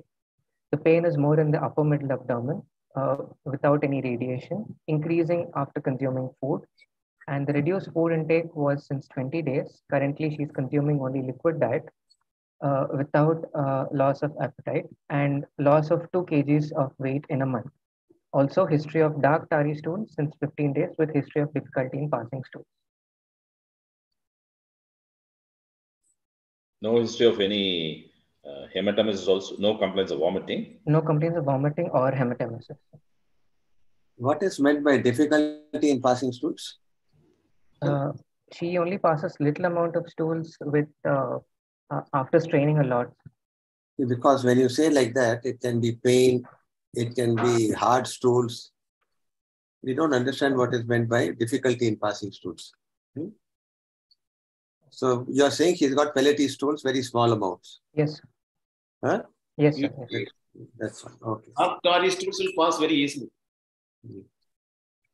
So, after all this, you have written two diagnoses. I'd like yes. to know the justification for each of those. Uh, the, the, next page. The carcinoma what, of the stomach is. Uh, what uh, evidence there is from what you have said till now about the body of the pancreas? Uh, it's only the uh, pain abdomen and uh, reduced food intake because of the compression of stomach with uh, uh, you are very clearly there is no postural variation in the pain. There is no radiation, no pain in the back, you said. Hmm? Uh, the group uh, and, the, and, and everything started with pain. Yes, sir. Uh, any tumors which are arising from the body, if they uh, grow anteriorly, they might not have any pain radiating to the back. How many you have seen like that in the ever since you joined MS? Uh, Where a body pancreas doesn't have pain, it grows only anteriorly and causes obstruction of the stomach by circumferential involvement? No, I have not seen that. Why mention it then? Yes. And can tumor body of the pancreas can be a different diagnosis to your symptoms at all? Uh, that's what I'm worried. Please. So you you said from a solid liquid he is changing. Is it a inlet or outlet uh, obstruction? Uh, outlet, sir. No, but you said one one symptom. You said early satiety. Yes, what sir. is the early satiety in stomach due to what? It is because of the loss of receptive relaxation of the stomach. Yeah. So uh, the elasticity of the wall is gone. Yes. Whereas outlet will produce postprandial fullness and vomiting. Yes. That two And different also- symptoms. Is it not? It's not the same. Yes. Sir. Early satiety means it's an infiltrative tumor, like linitis. Their stomach is not able to distend. Small quantity, they feel full. Yes. But So it's You not to be mistaken. no vomiting at all of the patient. No, sir, she does not complain of any vomiting. You mentioned the normal appetite and loss of weight of two kgs in one month. Yes, sir. Is that is Doesn't that likely? No, normal appetite with an extensive carcinoma, which has caused loss of distensibility. Uh, she actually says uh, she has a feel of hung- hunger. Uh, so I, I had uh, thought that it is she is she has appetite. What predisposes to carcinoma stomach? What is the first change which happens when there is an extensive carcinoma? Uh, there would be early satiety. Sir. Atrophic gastritis. No. Yes, sir. So appetite will be lost. Yes. yes. Uh, so how will you have normal appetite with an extensive carcinoma stomach? Yes. Then you have to wonder whether it's really carcinoma stomach.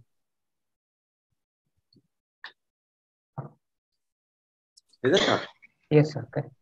So not only that, Sometimes, whatever patient tells, you have to be a little discriminatory. Okay. What is the sensation she's feeling? Is she feeling hunger or is she feeling burning? Or is she feeling pain? Yes. you said pain. Describe that pain. What exactly she had. Uh, she had a dull aching pain more in the upper uh, abdomen, which was constant throughout the day and increasing after consuming food. There's no radiation and uh, no postural preference. Everything points towards normal gastritis. Yes.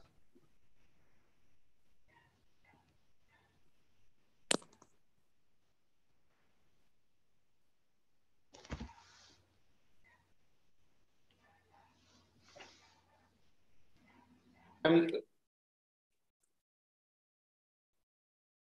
so, what made you to think it is a carcinoma? Uh, short duration and uh, So Please remember, short duration is it uh, always a feature of carcinoma? uh, no, sir.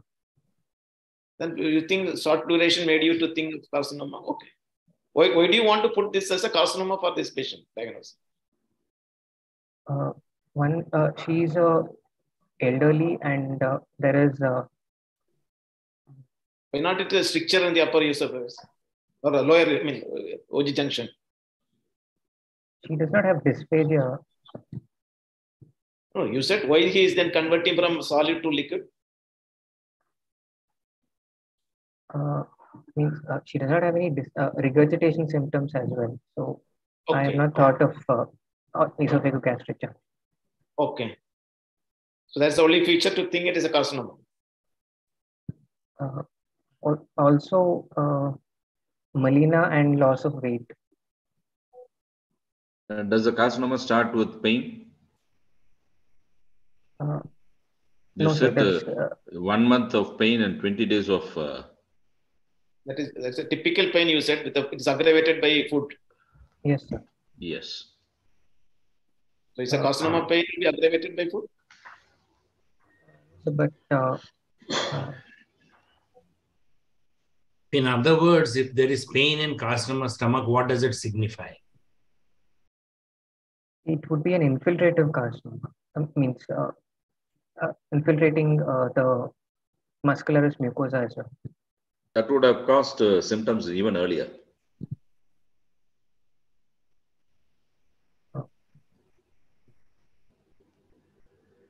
Okay, now because you're we're still in the we- there's possibility of pancreas. I don't think it is uh, better. You I mean, don't think of that here. Okay. Go ahead with the examination. Upper GI pathology. Yes, sir. Next. Uh, on examination, she was conscious and cooperative. Uh, ECOG uh, uh, zero. A consent was taken prior to the examination. She was moderately built. Her vitals were uh, within normal range. She has no signs of pallor, sinuses, icterus, edema, or lymphadenopathy.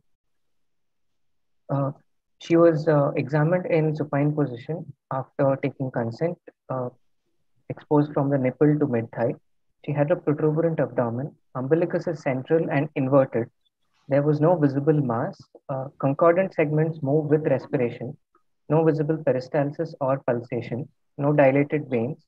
A tubectomy scar, uh, which is present in the suprapubic region, which has healed by primary intention. Uh, the hernial sites uh, were normal. On palpation, uh, it was an intra-abdominal mass in the epigastrium, measuring seven centimeters in horizontal axis, which was tender. Uh, it was firm in consistency with irregular surface and borders. Uh, the inferior border was palpable distinctively, but the upper border was not. Uh, however, insinuation under the costal margin was possible.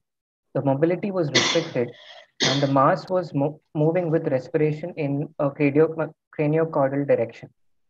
There was no hepatomegaly, uh, no fluid thrill or shifting dullness. A dull note was heard over the mass on percussion, and rest of the abdomen was resonant. Uh, normal bowel sounds were heard uh, uh, in the rest of the abdomen. A perectal examination had a foul-smelling black tarry stools, and the rest of the findings were normal. A pervaginal examination revealed a bile, a blind ending vaginal vault and was normal. A left supraclavicular lymph node was not palpable. Uh, systemic examination, the respiratory and cardiovascular system were uh, normal. Uh, with this, uh, I would like to give a diagnosis of uh, carcinoma stomach, but a differential diagnosis of uh, a mass arising from the left lobe of liver as well. How will you explain all the symptoms that you have said till now? Uh, it is an epigastric mass, sir. Uh, uh, the stomach no, I- being You have to explain the symptoms. Differential diagnosis means you have now completed symptoms and signs and giving a two diagnosis. So it has to explain all the symptoms and signs. yes, In uh, relation to your diagnosis. uh, carcinoma stomach is because uh, No, we are not, I'm not asking about that. I'm asking about the left lobe mass as a differential diagnosis. um, it was only on And examination. anyway, because, uh, left lobe mass is not a differential diagnosis. That's an anatomical Even description. on your examination, there is no Uh, finding. Uh, uh, So you must give a specific diagnosis or leave it out. What is meant by left lobe mass? uh, because it was an epigastric mass uh, differential of left lobe of liver. Vinay, uh, actually, But see, it, it has to fit in with your symptoms and signs, no? That's what is meant by differential diagnosis. Yes. Vinay, after symptoms, you brought in uh, CA body, and after signs, you brought in left lobe liver, and these two are uh, near fatal mistakes, actually. Okay. you, you can't substantiate either of them as a different diagnosis. These are not usually brought in as a different diagnosis. Okay. CA stomach. What are the differential diagnosis? Epigastric dull mass. Percussion, you've got a dull mass. What is Traube's space? Uh, it is uh, uh, between the costal margins, sir, the angle between the costal margins. That is called Traube's space, eh? Between the costal, two costal margins, is that Traube's space? Is Traube's space below the costal margin or above the costal margin? What is the content? What is the shape? I'm not exactly sure. It's a crescentic shape. Hmm? Yes. sir. It is the left border, costal margin border. It is a one border. It is not below. Okay. Can it be a GIST you can bring in here? Yes, sir. We can bring in just because of uh, Not in that line would have been better, but not going for a liver. huh? okay. A GA lymphoma, gastric lymphoma. Yes, sir.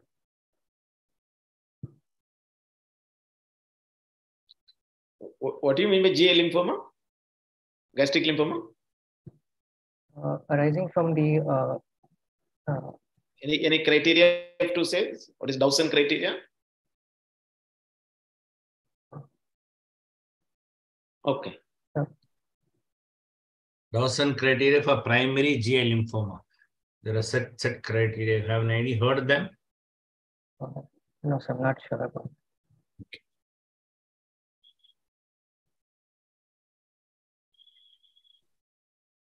What next? So you have not done any other test. Succussion splash, you have not done.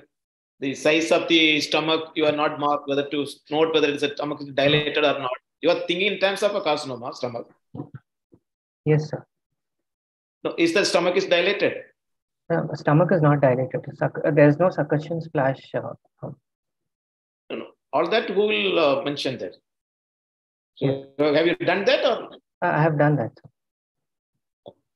Sir. stomach is also not dilated, but you are Not saying dilated. outer obstruction. Uh,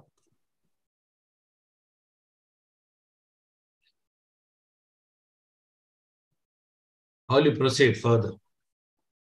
Uh, I would like to investigate uh, uh, by blood investigations, uh, hemo, uh, hemogram uh, because of the melena, uh, ultrasound abdomen.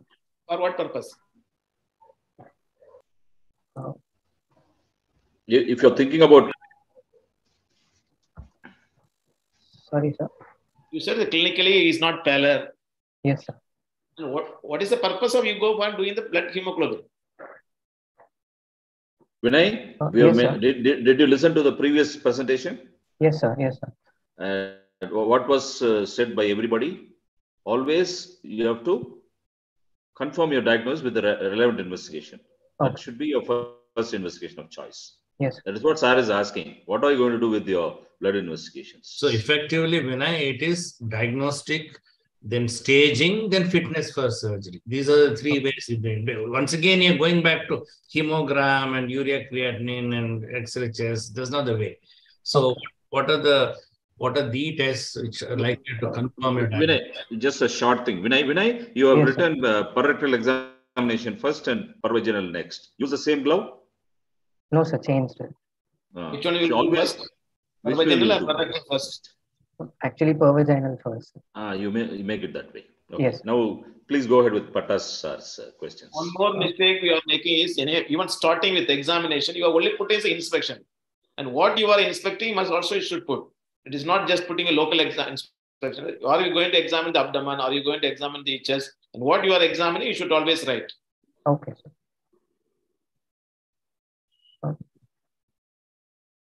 Uh, so I would like to uh, I would like to uh, get an ultrasound of the abdomen to look for the uh, origin of the mass and the relations of the mass. Uh, if there is any uh, ascites present which was not uh, seen in the examination, and any uh, uh, yeah, these three things basically. So you will not see Go the the next. liver, node, nothing you will see. Yes, sir. Uh, the status of the liver metastasis and lymph nodes. You also. you have one. Uh, She is a lady. no? You said left lobe mass also. Yes. All those things. She's you a can lady. You will not look into the ovary. You are looking to the. uh, so either you start say complete. Don't say just three things and say that that's all. Okay. Go ahead. You have done an ultrasound. Then Um, uh, we can do a, a CT to confirm uh, the finding Oh, oh, and oh, oh, oh, oh, oh. What is before CT? uh, What, UGI what is very scopy. ah, Uh, mm. Simple as that. Will it not give a good information? Uh, yes, you sir. have a, you have a your primary diagnosis carcinoma stomach. Yes. Uh, I, I think earliest uh, you have to go and do a upper GScopy. You might be surprised in that. Do you have the ultrasound uh, with you? Uh, no, so actually the unit had gotten a CT done directly. Okay, you go back to endoscopy. Uh, so the uh, endoscopy was showing a, uh, a circumferential ulcerated uh, slough covering fiber lesion in the distal body, which was also involving the antrum, extending up to the pyloric opening with uh, significant luminal narrowing. The scope was not was not passed across the pyloric opening, and a biopsy was taken, which was reported as poorly cohesive carcinoma. Okay. Even the scope is not Yes. able to be caught, but the stomach is not dilated. Yes, You're still maintaining that. Yes, sir. What's the other name for this co- cohesive carcinoma? Uh, Not a very cell- commonly used terminology. signet cell carcinoma. Hmm. No, what are the two major types of gastric carcinoma? Uh, intestinal and diffuse. Diffuse. So, which has a worse prognosis? Diffuse has a Yeah. Uh, worse This cohesive is the diffuse type. Yes. But you said it's ulcerative, you know? Uh, yes, sir. Circumferentially answered. Yeah. Okay. What does the CT show? Uh, CT is showing uh, uh, mural thickening of the stomach in the distal part uh, with loss of mural stratification. The fat planes ha- are being maintained uh, with the surrounding structures such as pancreas and gallbladder. There are uh, lymph nodes in the perigastric region and the peripancreatic region as well. No ascites has been seen. And uh, there is no uh, dilation of the proximal stomach. What about duodenal involvement? Uh, there is uh, no duodenal involvement. Can you see clearly? Uh, Can you use your pointer and show which Yeah. where is the no, normal duodenum? That's normal. uh, no, sir. Actually, it is uh, narrowed up here. Uh, so, because you could also not see it on endoscopy, no? Distal Yes. limit. Yes. See, This looks more like a linitis plastica type uh, stomach, actually. Yes. Okay. So what next? Next, uh, we could do a, uh metastatic workup because it is a diffuse uh, type of uh, carcinoma uh, in the form of a PET CT.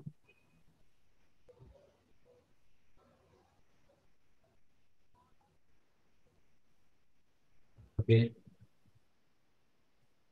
What would like to see PET CT? Was it done? Uh, yes, sir, it was done. Uh, we would like to see uh, any other um, enhancing lesions in the liver or the any other distant metastasis which we can find out. Right. So what next with this PET CT? So this PET CT had uh, showed no evidence of any uh, distant metastasis. It was only a circumferential wall thickening with uh, multiple uh, lymph nodes in the perigastric and peripancreatic region. Right. So uh, following this, uh, we can do a diagnostic laparoscopy to find out uh, any peritoneal metastasis if uh, there is any. What you will do on a diagnostic laparoscopy? Uh, first, we can find out if there are any visible uh, peritoneal metastasis and take a peritoneal wash and send it for cytology. So that is also important. No? Peritoneal cytology you have to take. Yes. What is the what is your objective for doing that? Uh, any micrometastasis which uh, uh, which is not visible uh, can be detected on the cytology. So what? Uh, it Will will it become change an unoperable, uh, uh, inoperable uh, situation. No, i- i- are you do, trying to do a diagnostic laparoscopy as a standalone investigation, or you have planned for something definitive and start with uh, diagnostic laparoscopy and proceed?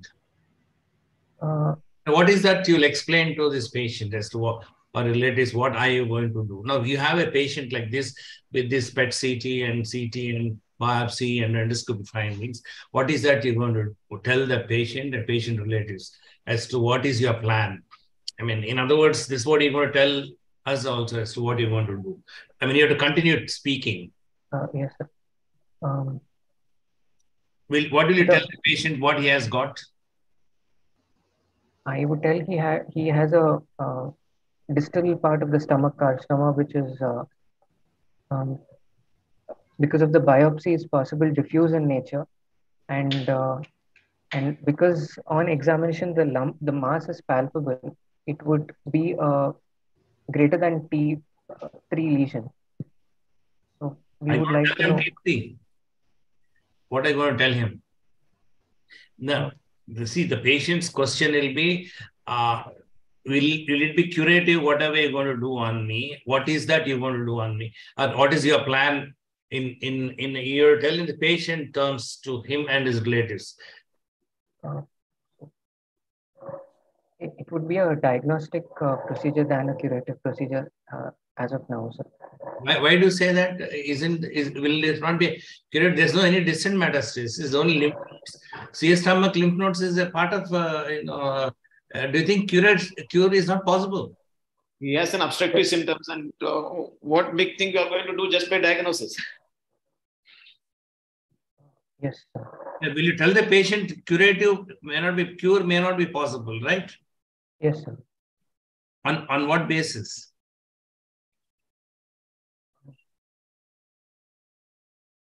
And he'll be very upset if you say that there's no cure. And it- it- there's no any suggestion, there's no lung or liver metastasis, there's no ascites, and there's only perigastric and peripancreatic lymph nodes, and you know there there there are no distal uh, lymph nodes here. Yes. Then why do you say that cure is not possible?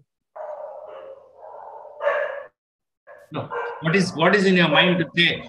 You you decided it's whatever you're going to do is palliative, right? yes sir. Why? What is against uh, curative surgery?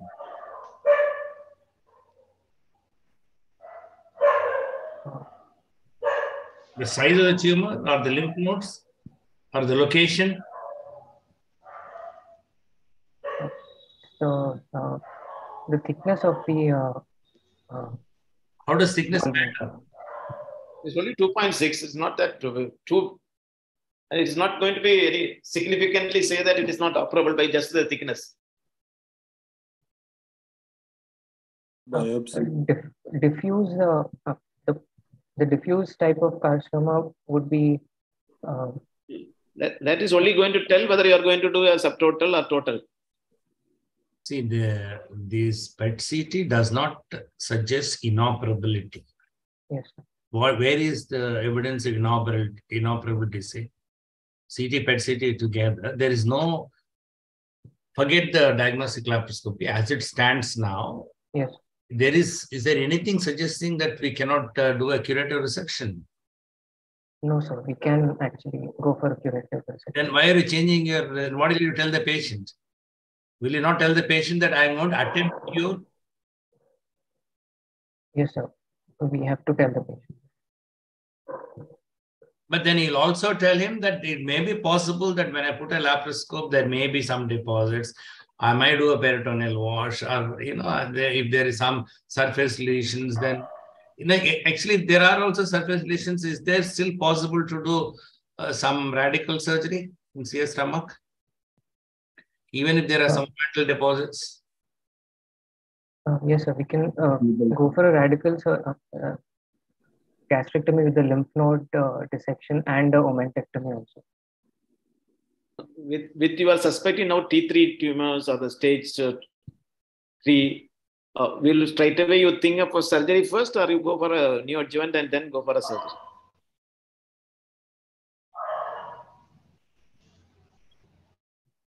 It would be neoadjuvant followed by surgery. So there are so many options are in front of you. So you can't say that it is only a palliative. Yes. You have a curative intent is there.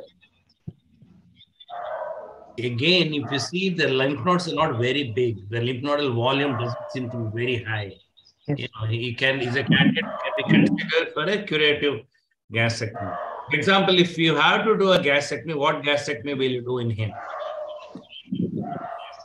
Be a subtotal gastrectomy. I I will say total gastrectomy. What are your points against? The uh, proximal part of the stomach is not involved. So, and uh, what the should be what should be the proximal uh, free stomach that should be available to avoid total? The five centimeters of proximal margin. Right. So how will you know that on table? Uh, we can send for a frozen section. Right. So what about the distal transection? Distal transection, if uh, it is not, an, uh, if it's not uh, beyond the duodenum, we can do a total gastrectomy. Whereas if it, if the distal margin is in the duodenum, the first part of the duodenum or second part, we have to go for a, a Whipple's resection. Now, uh, what what will you, to what extent do you go? Can you go on to duodenum technically? What centimeters? Two to three centimeters. Yeah. So we we can only go up to two to five centimeter and have a clearance actually. Yes. Right. So uh, and then if somebody asks you uh, what what is the level of lymph nodes you'd like to dis, uh, dissect here, or uh, uh, what how will you uh, what is the terminology for your uh, gastrectomy? D2 lymphadenectomy, sir, along with the gastrectomy, which includes the perigastric and the uh, lymph nodes along the vasculature. What all uh, So- constitute uh, D2 gastrectomy? Uh, it includes uh, station 1 to 12. Sir. What should be the minimum number of lymph nodes that should be removed? 15 should be removed, minimum. We will remove the spleen also then. Uh, if you are taking the entire node, only you said. Uh, sorry, sir, I didn't get you. No, no. If you are taking all the nodes, that means level 10 nodes also you are taking. It is in the hilum of the spleen. So you have to take the spleen also. No, sir, it's only uh, if it's not involving the spleen, it, we can do a spleen sparing uh, uh, lymph node dissection. So will you remove the level 10 node? Uh, yes, sir. We have to remove the level. No.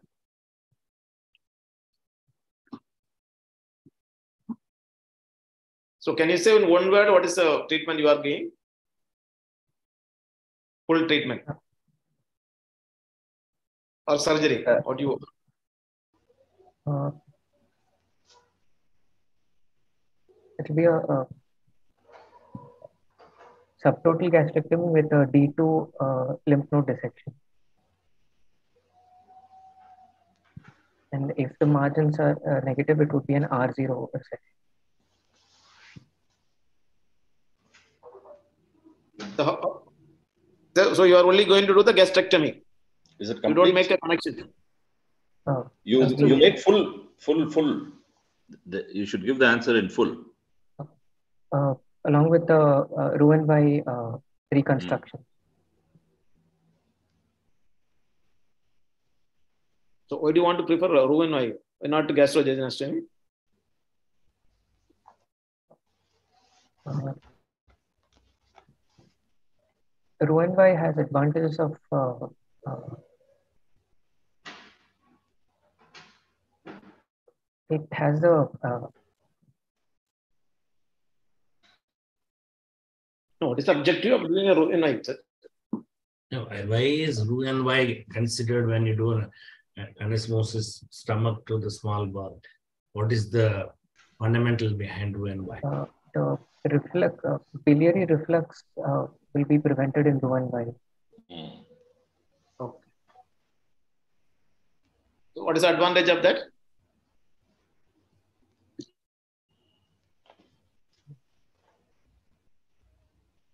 Uh, uh, the recur- uh, stomal ulcerations and recurrence could be uh, prevented. It is not the recurrence. How does recurrence, how is recurrence prevented by uh, diverting bile? Not recurrence.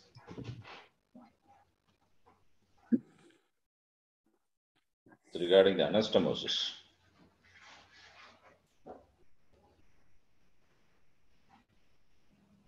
Only uh, prevention of uh, stomal ulceration.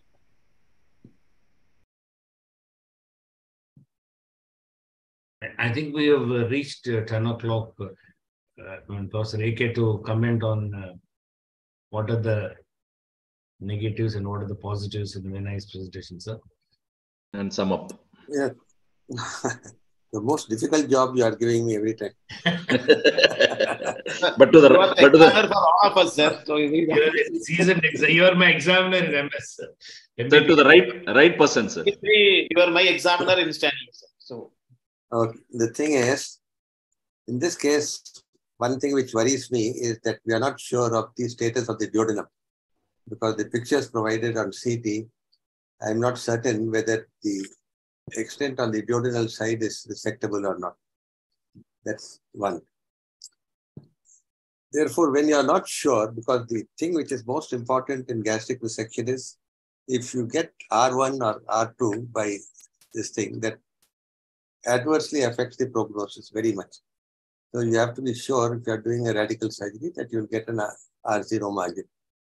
So personally, I feel that we should, in this case, where there's a question of duodenal involvement, because neither endoscopic nor CT, we are sure, infiltrative type of carcinoma, there may be a role for giving, starting neoadjuvant, doing surgery and continuing it in the post-operative period in the form of the most common use regime is ECF, epirubicin, cisplatin, and 5-fluorouracil. So that also increases uh, to a large extent your chances of getting R0 resection. That's one. Secondly, the, although D2 is widely done, all the trials that have been done, the original Dutch trial, the MAGIC trial, the Italian trial, and all that outside of Korea and uh, Japan, have shown superiority of D2 only if spleen and pancreas are preserved. So if you have to do a splenectomy for clearing lymph node uh, 10 and you require a pancreatectomy because of duodenal involvement and you can't do a pancreas preserving duodenal resection, then the, there's no advantage. Particularly if you're operating without neoadjuvant treatment. So personally, if I were treating this patient, I would strongly consider considering the extent, the fact that it is a poorly cohesive diffuse type of carcinoma known to be biologically active to give uh, neoadjuvant and then review after three months and then go ahead with the resection. So I feel that uh, probably it's a safer option.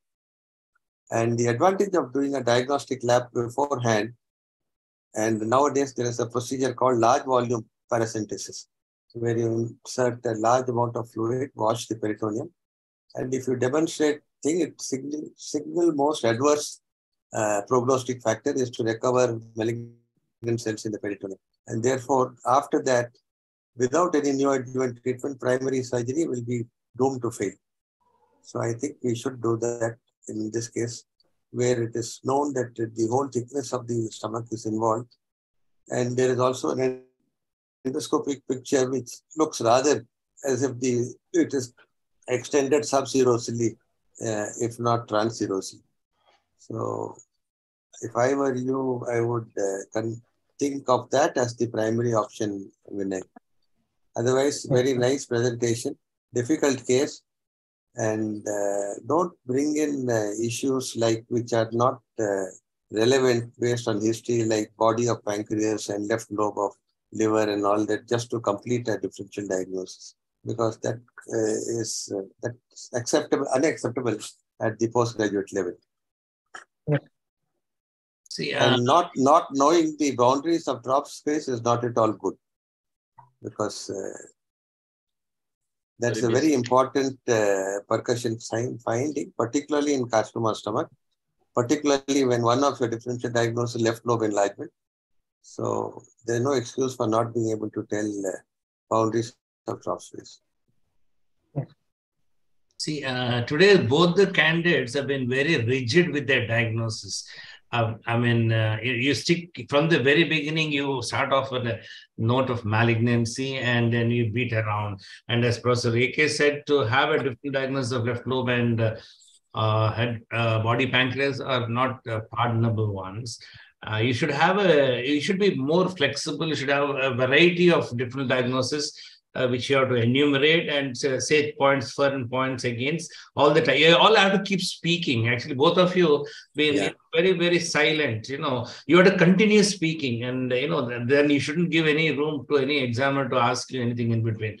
And second thing I noticed with you, Vinay, is that you be very pessimistic when talking to the patient. You, you from the beginning, you, you were thinking of something palliative, and I mean, and you know, there's nothing which really strongly suggests uh, palliation in this patient. You should be a lot more progressive. We should give the various options. You will say that it's likely that he can be cured, but it's also likely that uh, during laparoscopy may find something, and then we might uh, go slow. Or then you know, I'd also say that I'll just go laparoscopy and stop there, and then may consider for uh, neoadjuvant and so on. You should be you should be much open and you just keep talking. Only when you talk that the examiners understand you know something, rather than asking questions and getting answers all the while. So I think both of you should be a lot more communicative. Yes. You have not said whether I have passed in my summary or not. Sir, you you passed. all of us over the only, only because of you, all of us are here. Sir. yeah, really. So, I don't know about, about others, but it's true as far as I'm concerned. so Your description was excellent, sir. I think that is more accurate you, anything. you have to give the appearance of being confident and knowledgeable. That's much more important. And uh, waiting for questions is not a good uh, policy. Keep talking. If there is a doubt, they will stop you to ask. Yes. Here, because you have the PET scan, you have the CT, so you are very sure about your diagnosis. You are trying to stick on to that. The examination, it is not like that. You are going to see the case afresh. So that mindset of the thinking it in the open mind, talking accordingly to that should be developed. Yes. It's a very difficult once you know the diagnosis to talk in the examination. Because anything, whatever we presume outside, then you think it is wrong. So have an open Can mind. you just one minute, Vinay? Can you show that last uh, laparoscopic picture?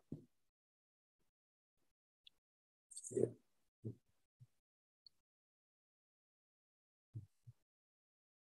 See near as you approach the outlet, what do you see? The stomach. What do you see there on the undersurface of the liver? Uh, it is a serosal involvement, sir. Yeah. Serosal involvement of the stomach and the undersurface of the liver. Just Oh. showed that view. Uh, Yes. uh, perihepatic Yeah, lymph, yeah. uh, periportal lymph node. Mm. And there's some peritoneal deposits look like. petrol deposits. So, when you take uh, consent, you must tell this uh, patient that uh, attempt at cure is what is the intent, but diagnostic lap is going to establish whether it is possible or not. There is a possibility that you may not complete the procedure and you may require after that additional treatment before we can re-explore. Yes.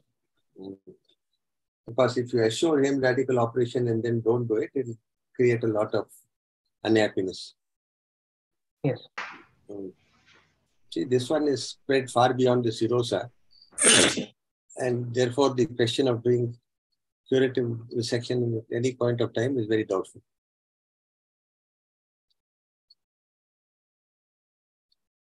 There, there are a lot of peritoneal deposits here.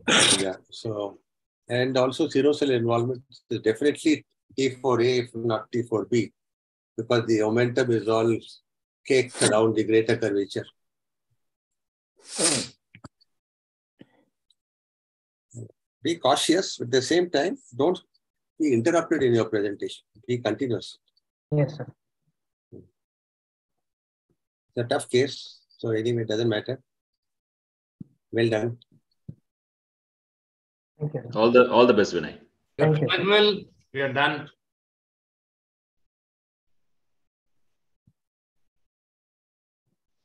Sorry, Kanagvel, we have uh, Sir, we are with extended you. your We are with you. Um, Sorry to have extended your time. um, should we give the opportunity to the student to ask any doubts or clarifications, sir? Sure, sure. Gautam, Uh, Vinay, any of you would like to Since, clarify? since they since they made me undo the summary, Yes, I'm sir. going to uh, assign the chance uh, topic uh, of answering the questions to Patta. Okay, okay, okay. I think uh, they don't seem to have a question. I may take it Uh, uh, that way, Sir, Dr. I Vinay. have a question. Please ask. Uh, sir, about the differential diagnosis. Um, in uh, in my case, there was uh, mostly Can suggestive. you have your video switched on, Dr. Vinay? Thanks. Uh, Please go ahead. uh, in the differential diagnosis after history, we have mostly only a diagnosis of carcinoma stomach. So, can we give only one or uh, multiple? See, is to be differential given? Diagnosis is not always possible in every case. When the presentation is typical and the findings are typical, like if you have a woman coming with a four quadrant tumor of the breast ulcerating, what is the differential diagnosis? Is it not? Yes. Sir. So it's not necessary that in every case that you have to have a differential diagnosis. But if there are some symptoms and signs which do not fit with your primary diagnosis, also fit with some other possibility, then you mention. Like that previous case we discussed, I don't know whether you are hearing or that or not, about carcinomas uh, of the right colon. Yes. The possibility of just lymphoma and all was there because there was frank bleeding and nothing, and usually these tumors, adenocarcinomas, don't bleed like that in the right colon. But in your case, the all the symptoms of, of upper alimentary tract, no significant pain radiating or in the back or postural relation. So where is the question of bringing in uh, body of the pancreas? First room போங்க இருங்க இருங்க நீங்க அங்க கூட்டிட்டு போயிருங்க. பாருங்க முதல்ல இருக்கு பாருங்க ஆ, அங்க And நேரா uh, Kanna where is the just- question of bringing in the left lobe of the liver, which will not explain even one of the symptoms? Yes. So you could have considered just, sir. just just as possible. just as possible you should have said. When we say differential it doesn't only mean different organs but different diagnosis pathology of the same organ also. Okay.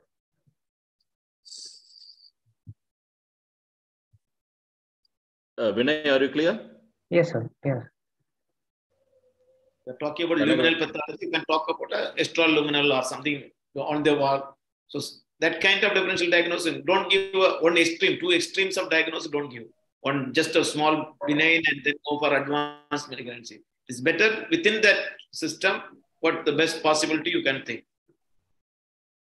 Yes, sir. Any other doubts? That's all. How do you feel you have done? What is your own assessment? Um, I've made a mistake in the differential diagnosis and uh, might be not fluent enough. And management, were you fluent enough? Uh, the only thing is because I had known the uh, the workup of the patient, I was biased towards one type of management. I think that's a very honest admission. Actually, that's what happens most of the time. That is what we tell everybody not to see the cases before the examination, because then you have the advantage of the workup and the findings, which the examiner doesn't have. And therefore, if you discuss based on that, you'll obviously be found out that you know about the patient. They're not very easy to put, the examiners. More than the answer, the method of your examination is more important. Very good. Yes. And what Patta said, you know, it must flow. It should not stop. There should be no hesitance. He was very fluent when he asked that question. no, I, I see both the boys, especially Vinay is very slow and very, you know, we always think that somebody is very slow means somebody is not very sure of what is happening. You know, uh, that, that the continuity of speaking, They will learn. good They will learn. language, good volume. This is the most important thing. That itself will make you uh, uh, closer to a pass, actually. The conversation alive. Mhm. Kanagvel, Yes, sir. I think we'll call it a day. thank you, uh, Anand sir. Thank you, Radha sir. Thank you, Rajavelu sir. I think uh, Jailal sir, Karnakaran sir, and uh, we have Dr. Ajit Sahai and uh, Dr. Karnakaran staying with us. Um, with the permission of the faculty, we call this session a close for the day and we look forward for the next Friday class. Thank you very much. Thank you all.